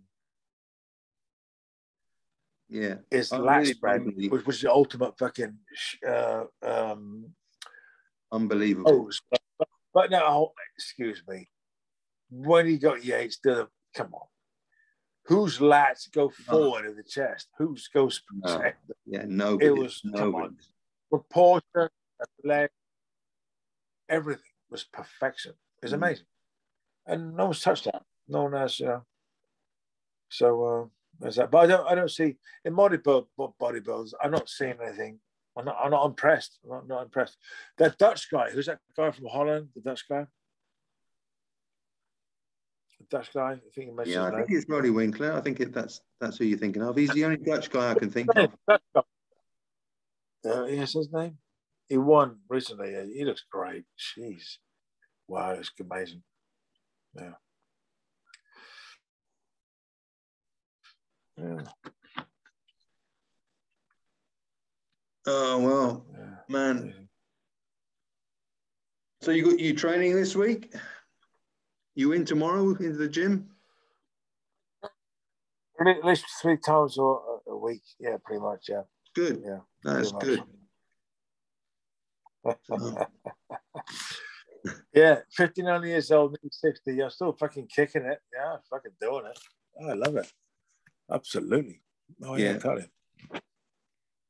You. It's stopping. I can't. I just can't see me ever stopping. I can't see me ever stopping training. No way. No way. Ain't gonna happen. Uh, certainly not. Not, not changing, but certainly lighter. A lot lighter. I mean the uh, the old connection, the old bones and whatnot. Well, yeah. But um, yeah, I'm still uh, still out lifting people even younger than me. I've got no doubt about that.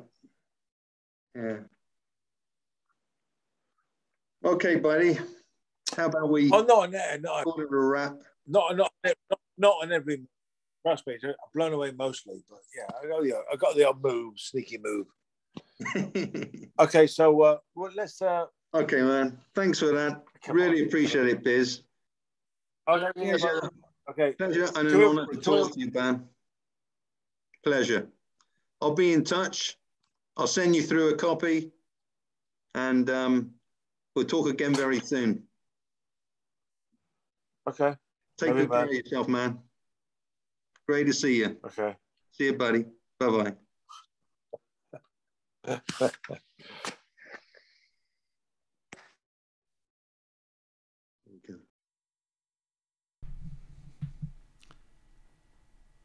And there we have it, ladies and gentlemen. I hope you enjoyed the conversation and that you got some very useful information about how art imitates life and vice versa. As Simon's art inspired me in my first gym, looking up as Conan on the wall as I did incline presses, as did our workouts in together inspire Simon's artwork in helping him see and feel how the body moves when the muscles are working in a certain way, but also how the intensity of a heavy duty workout is almost an identical sensation to the intensity of one of his characters as he or she smashes into battle or tears down the doors to win the day and conquer adversity. It was a great talk with Simon, as it always is. Knowing I was going to share it with you was even better.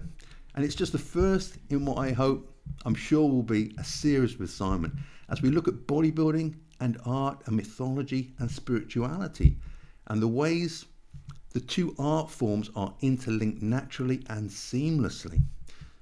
Thank you for watching. Another blog post and podcast will be coming up shortly for you very, very soon, and I'll see you then.